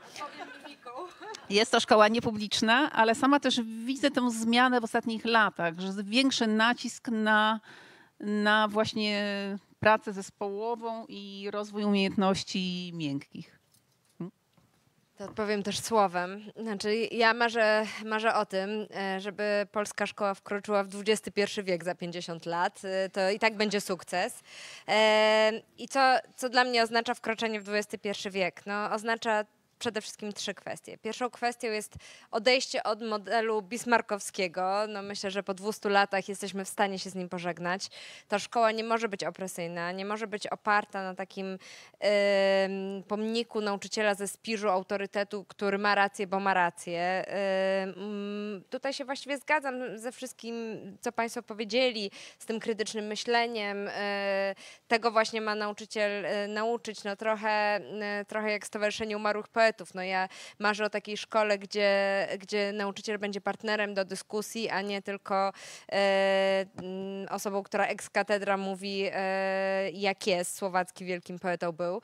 E, to jest po pierwsze. Po drugie, liczę, że program szkolny nadąży za tym, co się w świecie dzieje, bo e, odpowiadając e, trochę na to, e, co pan doktor powiedział, no rzeczywiście ja jestem idealnym produktem takiej szkoły dwudziestowiecznej, medycznej, 8 lat podstawówki, 4 lata liceum, same czerwone paski, później studia prawnicze, studia socjologiczne, aplikacja adwokacka. Nic nie pamiętam. Znaczy naprawdę wiem, że były jakieś... Ale, ale jesteśmy pod wrażeniem. Naprawdę? Prawda? Wszystko, czego się nauczyłam, nauczyłam się później wykonując zawód. Y, jakby ta, ta wiedza, którą zdobyłam y, już pracując, y, to jest bardzo smutne, bo bardzo dużo lat spędziłam na wkuwaniu do rzeczy Wisły i po prostu uczeniu się na pamięć, ile palców zakryć na flecie, żeby zagrać Lulejże Jezuniu, bo nikt mnie nie nauczył nut na przykład. No więc to są tylko przykłady, natomiast e, edukacja klimatyczna, e, edukacja antydyskryminacyjna, te umiejętności miękkie, to są wszystko potrzeby, które już dzisiaj trzeba wprowadzić do polskiej szkoły, e, na które Ministerstwo Edukacji to poprzednie, jeszcze poprzednie jest zupełnie ślepe.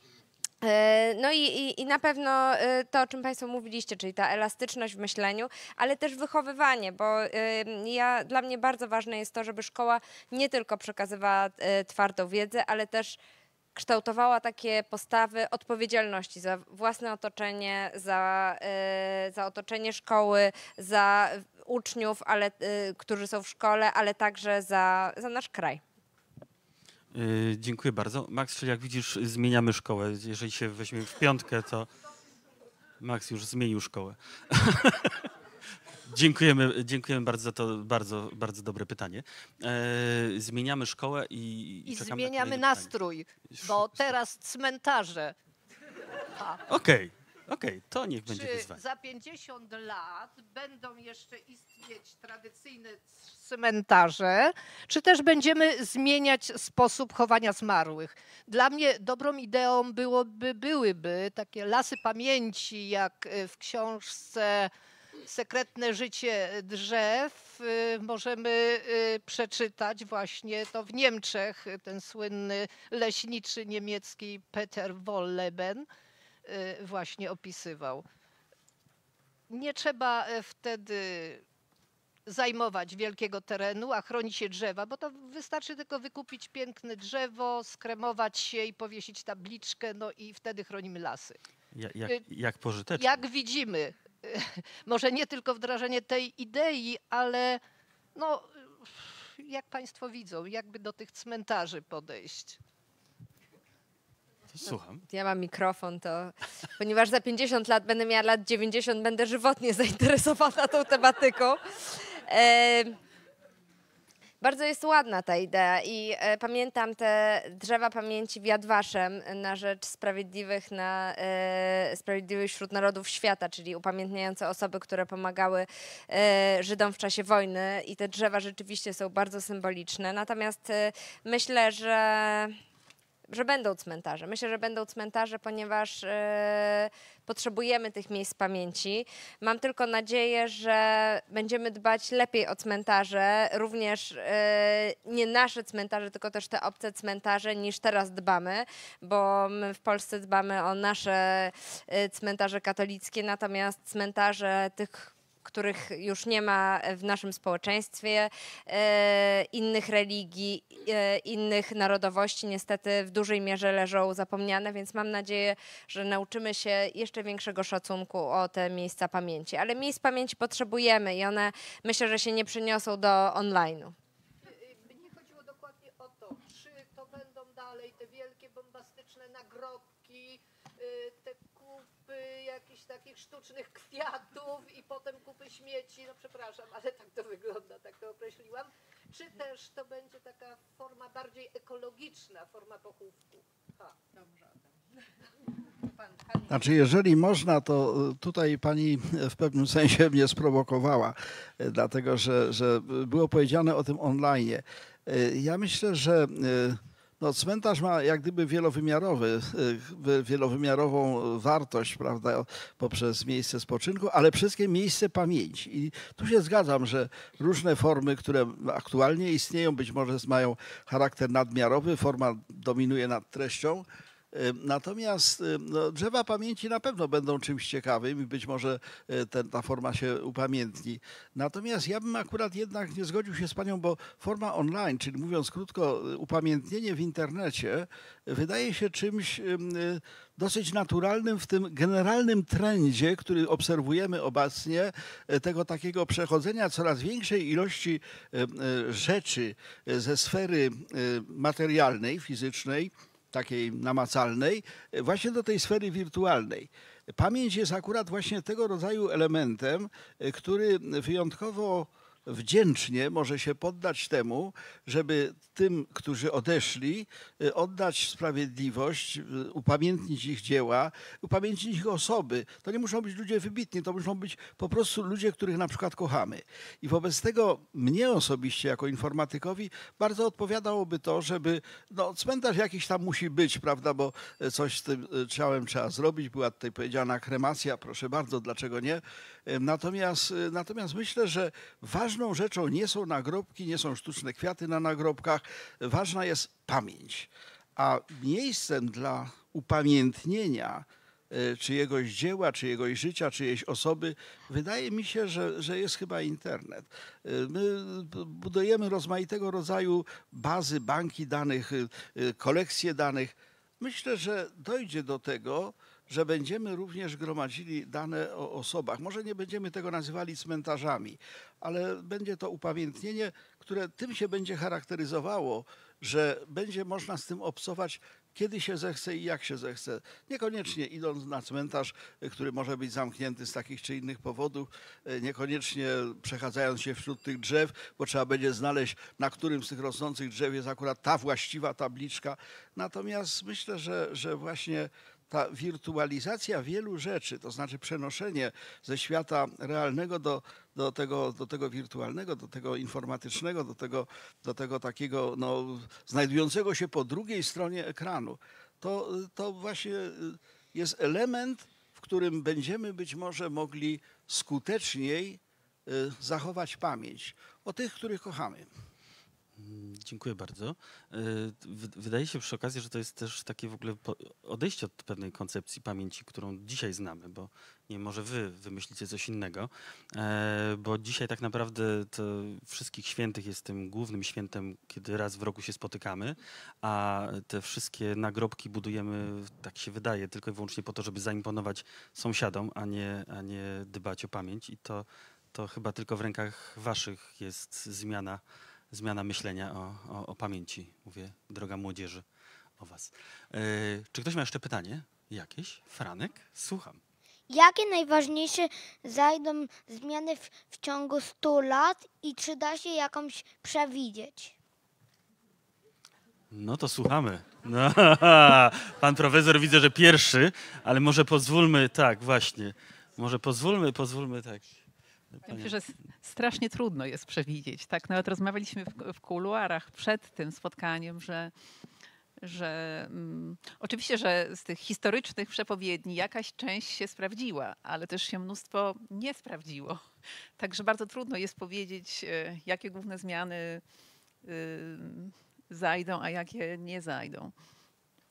Też ja myślę sobie, że to, co, to, co mm, z czym mamy do czynienia, co widzimy dzisiaj, to jest faktycznie bardzo duże przyspieszenie rozwoju technologii i to będzie miało wpływ na nasze życie na pewno znacząco, tak? A w każdej dziedzinie życia i to, że będziemy mieli to życie ułatwione, wygodniejsze, bezpieczniejsze, to na pewno będzie. Ale czy to będą telefony takie, czy takie, czy to będą samochody samojeżdżące? Pewnie będą samochody samojeżdżące, czy to będą samochody latające, pewnie w jakiejś perspektywie będą latające, ale jest bardzo dużo niepewności tak naprawdę zmiany, szczególnie w perspektywie 100 lat. E, To ja chciałam, Franek, Ci odpowiedzieć, że dawno temu, w 89 roku, byłam w Twoim wieku i w niedzielę siadałam przed telewizorem, bardzo takim dużym telewizorem i oglądałam Hanna Ba- Barbera, to się chyba nazywało Jetsonów. To był taki serial, do którego teraz mam siedmioletniego syna, więc y, pomyślałam sobie, ha, puszczę mu Jetsonów, uwielbiałam. Słuchajcie, obejrzałam najpierw sama i stwierdziłam, że to tak trąci myszką, że tego się nie da oglądać, zęby bolą. Po prostu, e, a to była taka projekcja przyszłości, to była taka wizja właśnie świata za 50-100 lat, więc nie podejmuję się przewidywania e, tego, jak będzie wyglądał świat i czy będziemy latać e, nad ziemią, czy będziemy się poruszać pod ziemią, jak będzie wyglądał człowiek i całe nasze otoczenie. Natomiast jedna najpilniejsza sprawa, która wpłynie na to, w jakim świecie będziemy żyć za 100 lat, no to jest oczywiście kryzys klimatyczny. E, I ja tutaj nie chcę straszyć, e, ale myślę, że słowo kryzys, do którego już przywykliśmy, mamy kryzys praworządności w Polsce, kryzys humanitarny, kryzys klimatyczny, no e, te kryzysy jakoś się bardzo mnożą. Natomiast rzeczywiście to jest taka sprawa, którą się trzeba zająć tu i teraz, jeżeli chcemy projektować lepsze życie dla siebie za te 100 lat, y, w związku z czym mam nadzieję, że za 100 lat nie będziemy żyli y, w jakichś gettach, y, broniąc się przed gwałtownymi zjawiskami atmosferycznymi, broniąc się przed ludźmi, którzy będą chcieli przeżyć i będą migrować do otoczonej na przykład murem Europy. No, tego wszystkim nam życzę, żeby tak nie było. Wizja, wizja mało optymistyczna. Rozumiem. Byłam delikatna. Okej. Ja chciałbym wrócić tutaj do, do poruszanej przez Panią akurat w rozmowie naszej e, przed, e, w czasie przerwy e, kwestii nietrafności prognoz wynikającej z złego wartościowania i kolejności rzeczy, które kiedyś były ważne, a obecnie ważne być przestają. Y, my y, jesteśmy w stanie y, prognozować na zasadzie ekstrapolacji, takiego przedłużenia trendu aktualnego. Coś jest takie, potem jest takie, potem jest takie, chociażby zmiany klimatyczne, prawda? Coś idzie w jakąś stronę. Otóż prognozowanie na podstawie przedłużania aktualnego trendu okazuje się nieskuteczne. Ja muszę powiedzieć, że z rozbawieniem czytałem e, na przykład e, rozważania na temat tego e, w XIX wieku, właściwie pod koniec, ten fin de siècle, prawda, koniec XIX, początek XX wieku, jak będzie wyglądał Paryż no, w XX wieku. Wiecie, czego się tam najbardziej obawiano? Odchodów końskich. Dlatego, że uważano, tak, uważano, że największym problemem Paryża będzie to, że tak, ludzi będzie przybywało. No bo wiadomo, miasta się urbanizują coraz więcej. No ci ludzie będą musieli się poruszać. Czym się będą poruszać? No oczywiście dorożkami, no bo nic innego nie było. Tramwaje też były konne. Wobec tego te konie będą robiły no, to, co czasem robią konie. Więc w związku z tym problemem przyszłości wtedy pro, prognozowanym był problem właśnie tych odchodów. Jak ten Paryż sobie poradzi z tymi odchodami końskimi? Inna rzecz, że to teraz się przekłada na, na spaliny samochodowe, ale, ale, ale, ale no jednak sama prognoza była nietrafna. Y, myślę, że można bardzo wiele takich przykładów wpadek y, y, pokazać. Ja chciałem powiedzieć o jednej rzeczy. Rzeczą, która tak naprawdę w pewnym momencie przestawia zwrotnicę historii i powoduje, że przyszłość jest zupełnie inna niż my byśmy sobie ją wyobrażali, są rzeczy na początku bardzo drobne, małe i nieznaczące, niezauważalne. Przykładowo, y, możemy czytać y, książki science fiction, takie prognozy y, przez fantastów, wspaniałego naszego Lema na przykład, co będzie w przyszłości. No więc przewidzieli, że będą loty kosmiczne, będą roboty, będzie tam mnóstwo rzeczy ale nikt nie przewidział tego, że będą telefony komórkowe. Zauważcie Państwo, nie ma ani jednej. Proszę? W Jetsonach były telefony. Jetsony to, to są momenty, kiedy już one jednak były na, na, na świecie. Ja mówię o czymś, co miało miejsce w latach na przykład no, 60., 70. Wtedy y, nikt z fantastów nie przewidywał tego, że będziemy mieli za sprawą takiego małego urządzenia łączność z całym światem. I to było nie do wyobrażenia, a jednak to zmieniło świat. Dzisiaj ludzie zapatrzeni w te smartfony, telefony, komunikujące się ze sobą w potrzebie i bez potrzeby, są y, kwintesencją naszej dzisiejszej, naszego dzisiejszego stanu cywilizacji. Jak to się zaczynało, to tego nie było widać. To były walkie-talkie, które żołnierz nosił na, na, na plecach, plecach z anteną, tutaj miał jakąś tam mikrofon, tak się porozumiewali. Tymczasem teraz mamy malutkie. Dlaczego o tym mówię?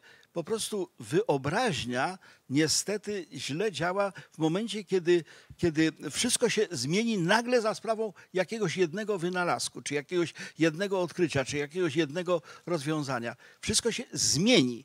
Wobec tego jedyne, czego można być pewnym, to to, że świat przyszły będzie inny niż dzisiaj. I to nie za sprawą tego, że to, co dziś widzimy, się rozwinie, będzie większe, będzie doskonalsze, będzie.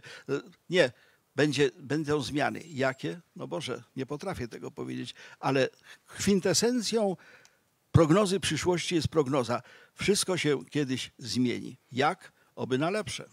Y, to, to, ja mam jeszcze takie y, biologiczne pytanie. A będzie taka możliwość, y, żeby sobie poskładać geny na przykład i, i, i tak właśnie stworzyć sobie taką osobę, którą taką dokładnie jak będziemy chcieli?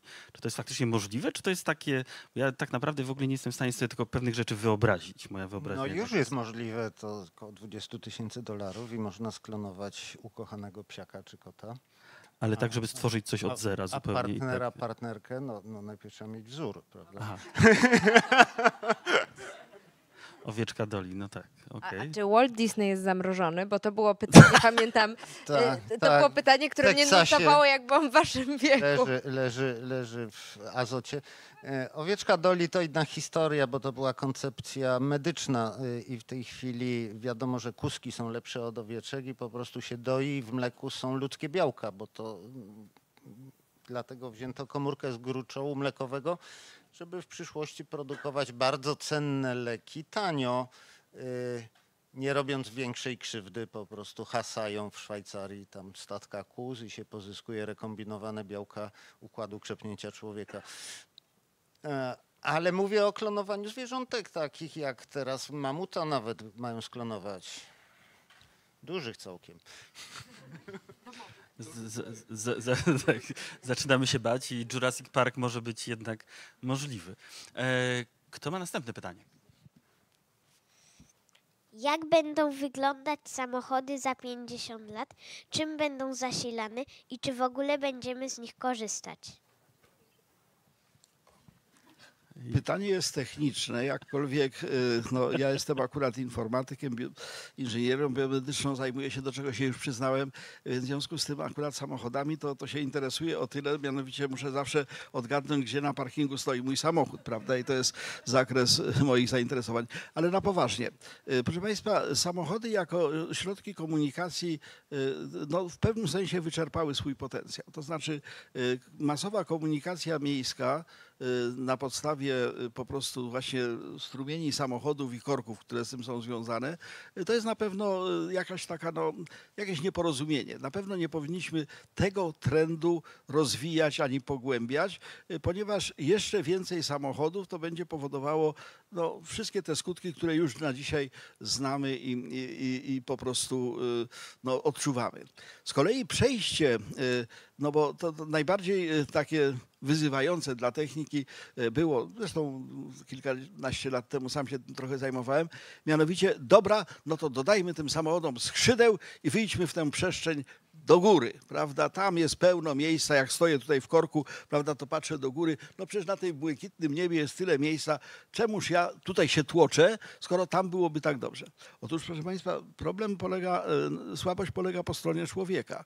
Mianowicie wypadki drogowe w dwuwymiarowej przestrzeni naszych dróg zdarzają się często. W trójwymiarowej przestrzeni, kiedy wszyscy zaczniemy latać, to te wypadki będą no, częstsze, a przede wszystkim bardziej tragiczne w skutkach.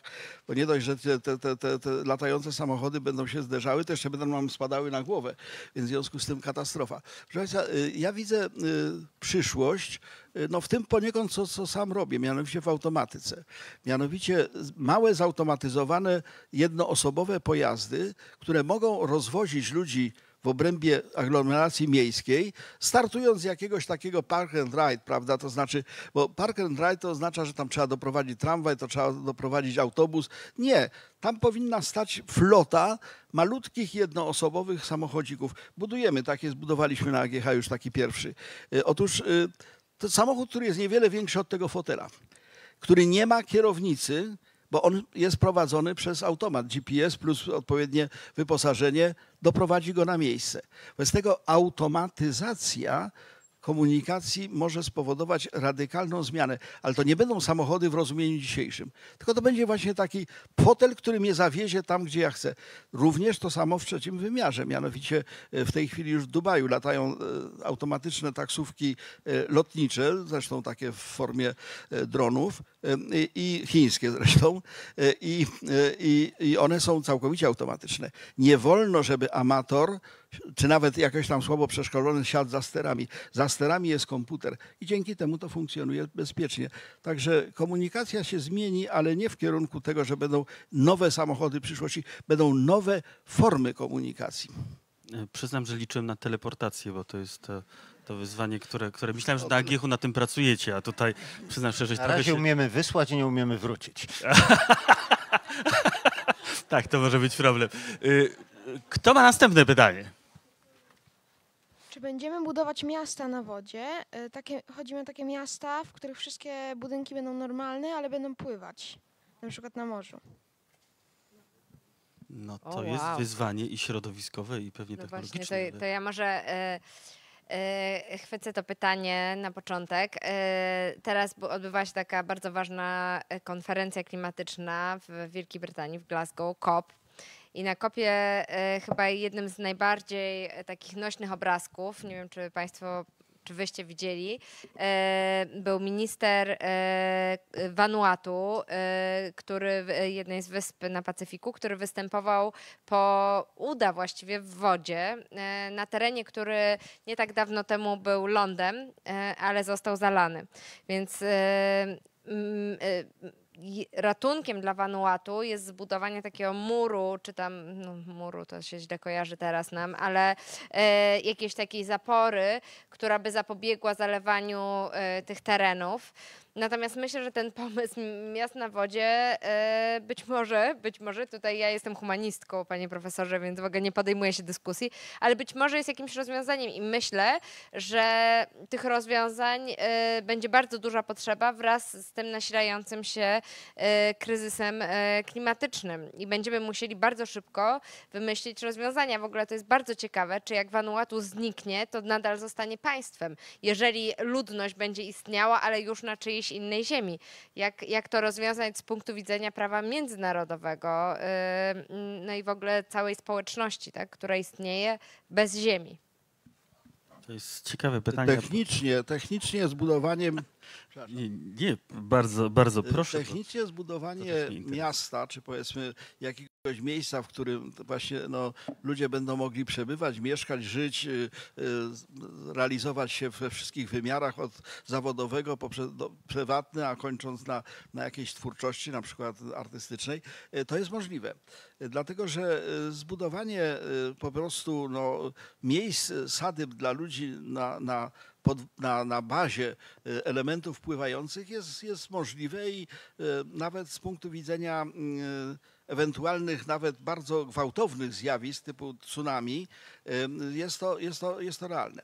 Natomiast chcę podkreślić, że no jest pytanie, czy to rzeczywiście jest, jest dobra droga, dlatego że y, no, środowisko w- na, na wodzie, generalnie rzecz biorąc, y, jest środowiskiem dla człowieka nie do końca przyjaznym.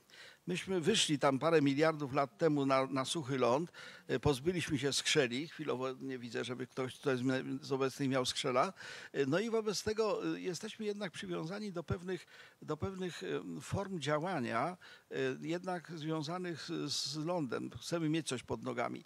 W związku z tym, jak mówię, z punktu widzenia technicznego, tam gdzie to będzie konieczne, i tutaj się zgadzam z panią, że takie miejsca mogą być, e, no będziemy musieli przejść z tego tradycyjnego zamieszkania na, na, na lądzie do, do, do, do mieszkań e, miast e, na, na wodzie. Natomiast e, trzeba podkreślić, że, że, że to, to, będzie raczej paliatyw. To znaczy, to nie będzie rozwiązanie, które należałoby powiedzieć, że ach, jak cudownie wreszcie zagospodarujemy to, to, tą falującą tutaj, prawda, nie, ten falujący nieużytek, taki jakiś Bałtyk jest, prawda, no coś tam faluje, ale właśnie co, kto, co, kto z tego coś ma? A- A nie, przeciwnie, mamy, bardzo dużo mamy. W związku z tym y, chcę podkreślić, że y, nie, nie widziałbym miast na wodzie jako sensownej drogi rozwoju. Natomiast przyparci do muru możemy się do tego uciec, rzeczywiście.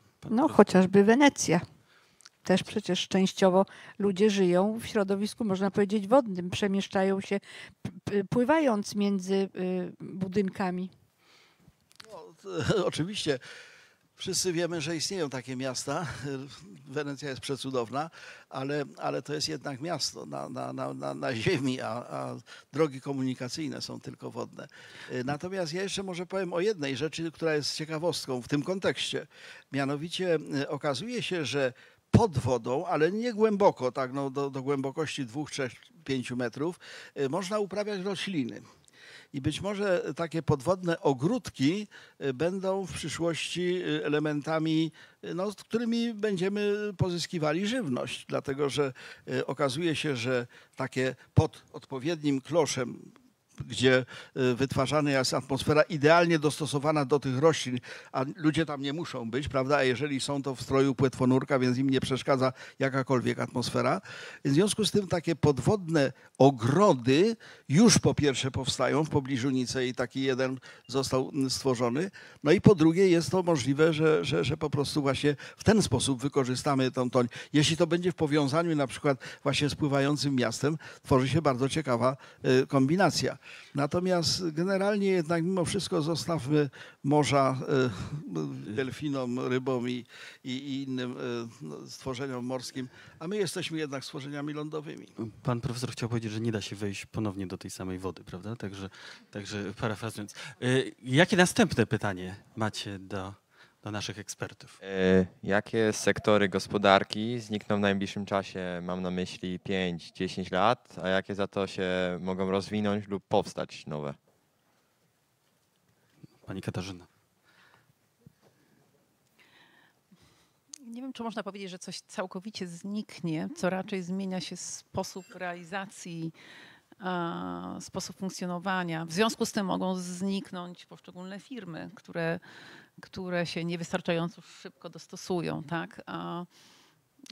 Uważa się, że, z, że ta wymiana przyspieszy, że z tych największych firm, które dzisiaj znamy jako największe, to całkiem spora część się wykruszy w najbliższych latach, ale najczęściej sektor jako sektor będzie istniał, tylko inni gracze zajmą ich miejsce i, zaczną dostarczać usługi w inny sposób. No, no, mm, wszyscy pewnie jakby tam słyszeli albo używali Amazona czy tego typu platformy i jeśli człowiek zaczyna sprowadzać przez taką platformę, to kupuje mniej e, w innych źródłach, mniejszych sklepach i i to ma wpływ na to, że mm, niektórzy tę branżę opuszczają, ale to nie znaczy, że przestajemy kupować. Tak?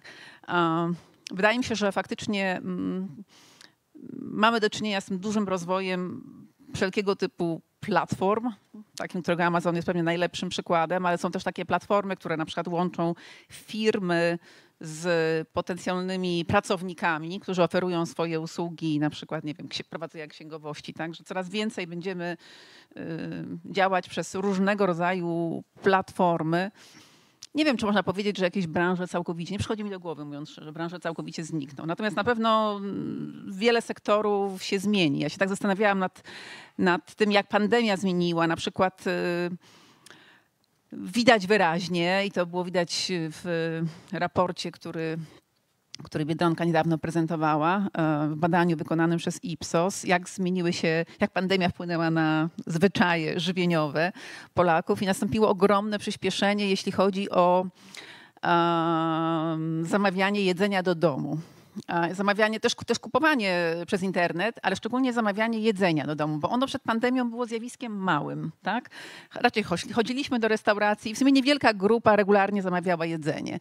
A teraz około 60% Polaków twierdzi, że co najmniej raz w miesiącu zamawia sobie jedzenie do domu. Tak? I przynajmniej w dużych miastach widzimy bardzo dużo rowerzystów, ludzi na skuterach z plecakami, którzy to jedzenie nam dowożą. To oznacza, że jak się pójdzie teraz do restauracji, to trzeba 50 minut czekać, bo w tym czasie jest 15 ludzi z plecakiem, e, którzy są obsługiwani w pierwszej kolejności, bo za spóźnienie z takim zamówieniem restaurator y, miałby karę finansową, więc jakby on musi ich obsłużyć w pierwszej kolejności. Ale to ma wpływ na to, jak działa branża restauracyjna i ona się pewnie podzieli na, na takie, które dostarczają tylko na wynos i na takie, które oferują to takie doświadczenie wyjścia do restauracji, pogadania tam ze znajomymi i tak dalej. Także jakby będziemy podlegać bezustannej zmianie, to w jaki sposób kupujemy produkty, usługi i to daje szansę wielu nowym przedsiębiorcom, żeby zaistnieć e, i zbudować biznes, ale jest też wyzwaniem dla tych istniejących, e, jak zidentyfikować te, te, te, te szanse szybko, jak nie dać się e, tutaj też pokonać. Także zmiany będą na pewno duże i to oznacza duże szanse. To chyba też ma związek z technologiami, bo jak sobie odpowiedziałam na pytanie, co było jeszcze 20 lat temu, czego nie ma teraz, teraz się zastanawiałam, to jakaś wielka podróż sentymentalna dla mnie ten panel, bo na przykład y, wypożyczalnie wideo, no to jest coś, co przecież było mekką, no przecież tam były wycieczki rodzinne y, do wypożyczalni wideo, albo na przykład sklepy fotograficzne, y, gdzie mm, przecież się kupowało w, w tych pudełkach klisze, y, później się zanosiło do wywoływania i tego zupełnie nie ma, więc to idzie w parze z tym postępem technologicznym. O, widzę, że pan profesor już sięga po mikrofon, więc milczę. Nie, nie, nie. Ja myślę, ja myślę, że, Ja myślę, że y, musimy, musimy zrobić, zrobić w ten sposób, że y, będziemy, będziemy mogli porówno dzielić wypowiedzi ekspertów i ja nie chcę w żaden sposób uciekać, bo y, uwielbiam słuchać pana profesora, ale pan profesor po prostu zawłaszcza trochę tą dyskusję i Przepraszam, nie, nie, nie, panie profesorze, ja zaraz, zaraz. Nie, nie, nie, nie, wręcz przeciw. Oj, nie, nie chciałem tego zrobić, Broń panie Boże, profesorze. proszę wracać, Panie panie profesorze, profesorze. chciałem po prostu, chciałem po prostu móc też w jakiś sposób, e, móc też, też w jakiś sposób zapytać, zapytać osoby, które, na przykład pa, pana, pana profesora, pana profesora Sanaka, e, poprosić go o to, żeby też uczestniczył w tej dyskusji, bo mam takie poczucie, na Boga. ale, ale jestem przekonany, że, że wy naukowcy na UJ z całym szacunkiem też tworzycie pewne rozwiązania. Nie, jesteśmy wnikliwymi obserwatorami. No, zniknęła, zniknęła huta w takim wydaniu, w jakim smrodziła od, od czasów powojennych, więc myślę, że pewne sektory przemysłu ciężkiego będą znikać, a przynajmniej będą się przenosić tam, gdzie jeszcze im będzie wolno smrodzić. E, Kopalnie będą zamknięte, bo się w części złoża wyczerpią, inne się zamkną, bo wody ubędzie sąsiadom y, za granicą. No, no różne będą przyczyny, ale nie wszystko się da przewidzieć. Tu słuszna uwaga była na temat y, naszej młodości i odtwarzaczy VHS. Proszę Państwa, ja myślałem, że płyty winylowe też umarły, a w tej chwili spory rynek jest. Sam nabyłem nowy gramofon w związku z tym, więc te mody tak wracają. No znowu są aparaty fotograficzne, takie jak kiedyś były te instant, y, od razu zdjęcie wyskakiwało, polaroida. Nie da się tego tak do końca przewidzieć. Panie Jeszcze profesorze, przypomniało mi się, że jeszcze było coś takiego za naszego życia, znaczy nie mówię o młodzieży naszej, ale jak repasacja pończoch, gdzie się zanosiło, y, y, dzieci dzisiaj nawet nie wiedzą, co to jest zapewne. Nosiło się buty do szewca. W tej chwili nie wiem, ilu jest szewców w Krakowie, ale pewnie e, wystarczyłoby palców u ręki, żeby ich znaleźć. E, Krawcowe, też takie indywidualne, które szyją, to, no to też są chyba takie wymierające zawody. To teraz już się kupuje za grosze gotową odzież, ewentualnie jakieś, jakieś no więc właśnie markowe, indywidualne, ale już takie powszechnie y, mm, zawody y, rzemieślnicze, no też trochę odchodzą w niebyt. Ale z drugiej strony kupuje się za grosze, dlatego że jest ta globalizacja i gdzieś można to taniej produkować. I wydaje mi się, że w perspektywie 50 lat będzie odwrót od tego. To znaczy musi być, ponieważ ta rozpędzona maszyna konsumpcjonizmu też nie idzie w parze z kryzysem klimatycznym. Są już bardzo silne trendy do ponownego, mm, ponownego wykorzystania rzeczy, które już nie są nam potrzebne. Nawet naprawdę znane marki y, pozyskują, odkupują, tak, czy tworzą w ogóle taki rynek na to, żeby pozbywać się rzeczy, które y, my już może trochę znosiliśmy, ale absolutnie komuś się przydadzą. E, Też zmienia się prawo, jeśli chodzi o części zamienne, żeby one były dalej dostępne, żeby można było urządzenie wykorzystywać dużo, długo, dłużej. Być może też drukarki 3D sprawią, że będzie można coś naprawić łatwiej niż teraz. Także myślę, że wy- wydłuży się życie wielu, wielu przedmiotów, wielu urządzeń. Yy, Szanowni Państwo, bo czas, czas niesamowicie płynie, w związku z tym yy, bardzo bym Was prosił o kolejne pytanie. Yy, Czy w związku ze zmianami klimatycznymi przetrwają drzewa na całym świecie? Tak. To jest świetne pytanie. Świetne pytanie. Drzewa się świetnie dostosowały. Mamy i szpilkowe, które nie zrzucają swoich zielonych części, mamy liściaste, niektóre z nich bardzo odporne na zanieczyszczenia. Cisy w mieście sadzone koło Wawelu w tej chwili jest obsadzone cisami. Dobrze znoszą, znoszą. liściaste w ogóle od, odnawiają te elementy. Drzewa przetrwają, nie mam wątpliwości. E, Kiedyś cała ziemia była porośnięta lasem.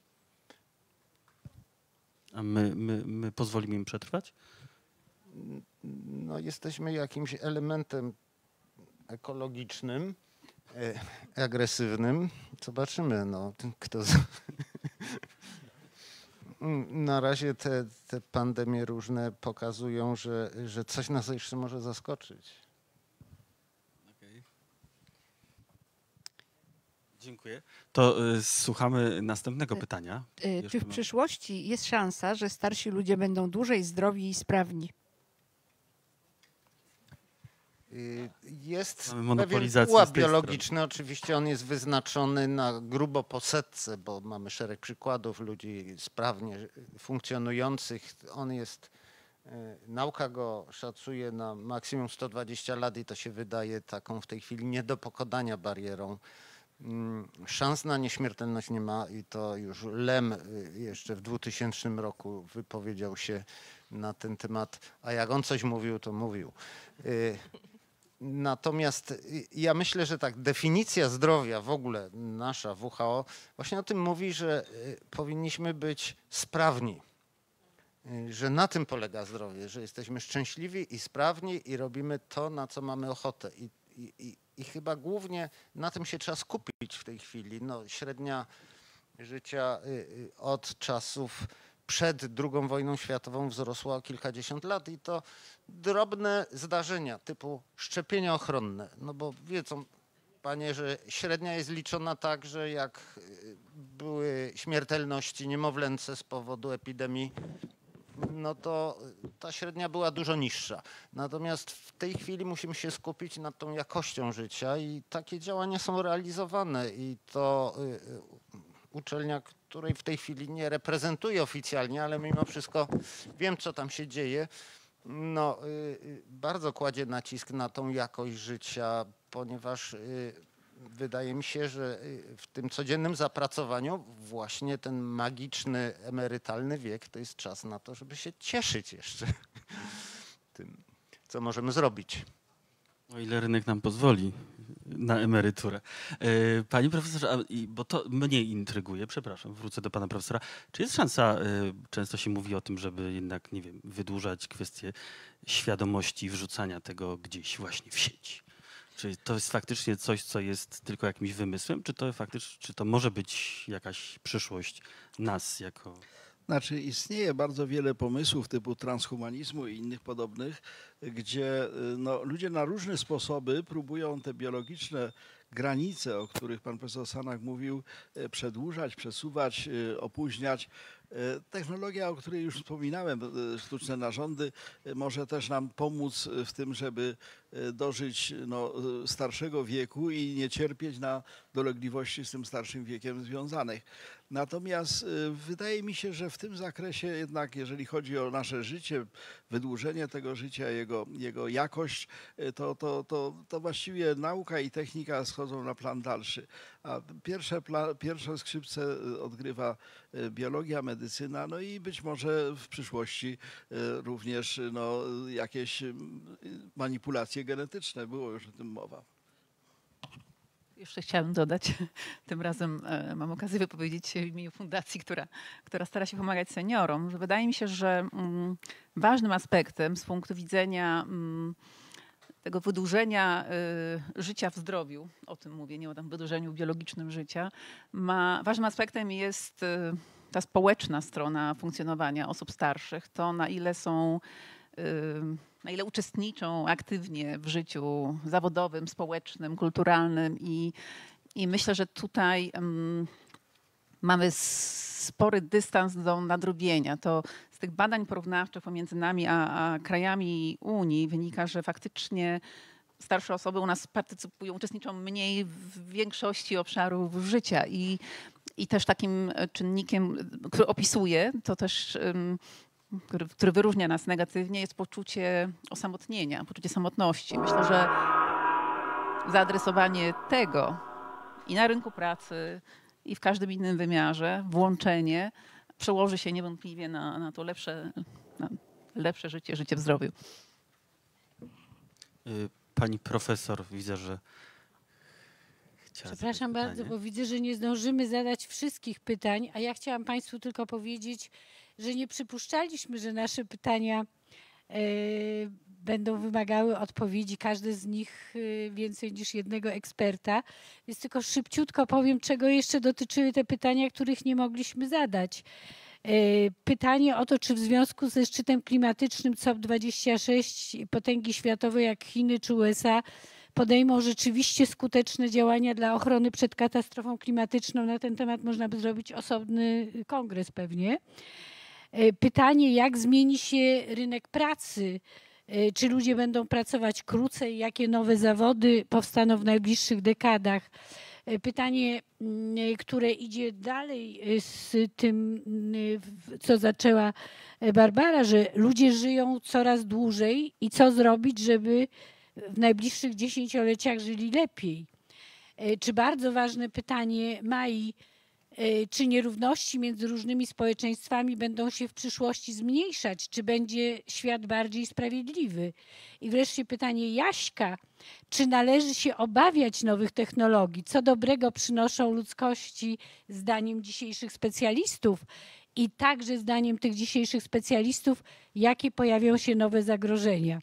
E, Chciałabym, żeby ta nasza działalność, która trwała wiele miesięcy, praca nad projektem, e, żeby jednak e, nie zginęła. Więc wiem, że już nie ma czasu, żeby te pytania uzyskały odpowiedź, ale chciałabym, żeby Państwo wiedzieli, że nasi uczestnicy, których większość to bardzo młodzi ludzie, naprawdę bardzo poważne pytania dotyczące zagrożeń i przyszłości człowieka zadawali. I przykro mi, że czas przebiegł tak szybko, ale pytania były na tyle fascynujące, że zaangażowały wszystkich ekspertów. Bardzo dziękuję. Przepraszam, że się wtrąciłam, ale pan doktor Laurisz jako doktor, ja jestem profesorem, nie miał odwagi mi przerwać. Pewnie to tak było. To, to prawda, tym bardziej, że jesteśmy w Krakowie i tutaj hierarchia jest już tak sztywno ustalona, że, że to jest jasne i oczywiste. E, to małą burę, którą właśnie dostałem od pani profesor, przyjmę z godnością. E, Przepraszam bardzo, że nie udało nam się e, odpowiedzieć na wszystkie pytania, ale mam nadzieję, że e, te odpowiedzi, które, które, które usłyszeliście, albo tą rozmowę, którą usłyszeliście, e, nie w jakiś sposób choć, choć, choć sprawiła, że, że wasze wątpliwości, czy wasze pytania, wasze wątpliwości zostały rozwiane, czy wasze pytania uzyskały odpowiedź. Było mi niezwykle miło gościć, gościć Państwa i chciałbym bardzo, bardzo Państwu również po, podziękować. Chciałbym e, bardzo Państwa prosić o oklaski dla naszych pytających. E,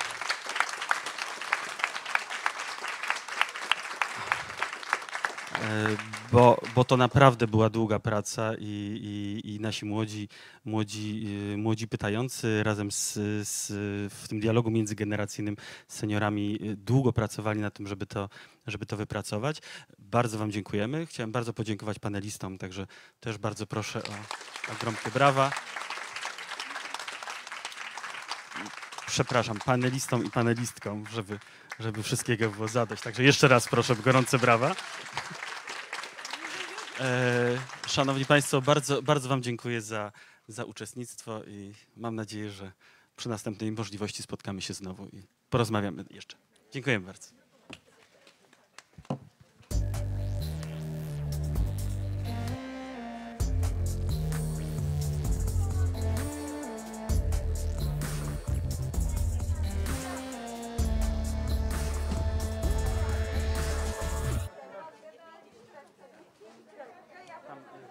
Nadzieję będzie otwarty. Nie,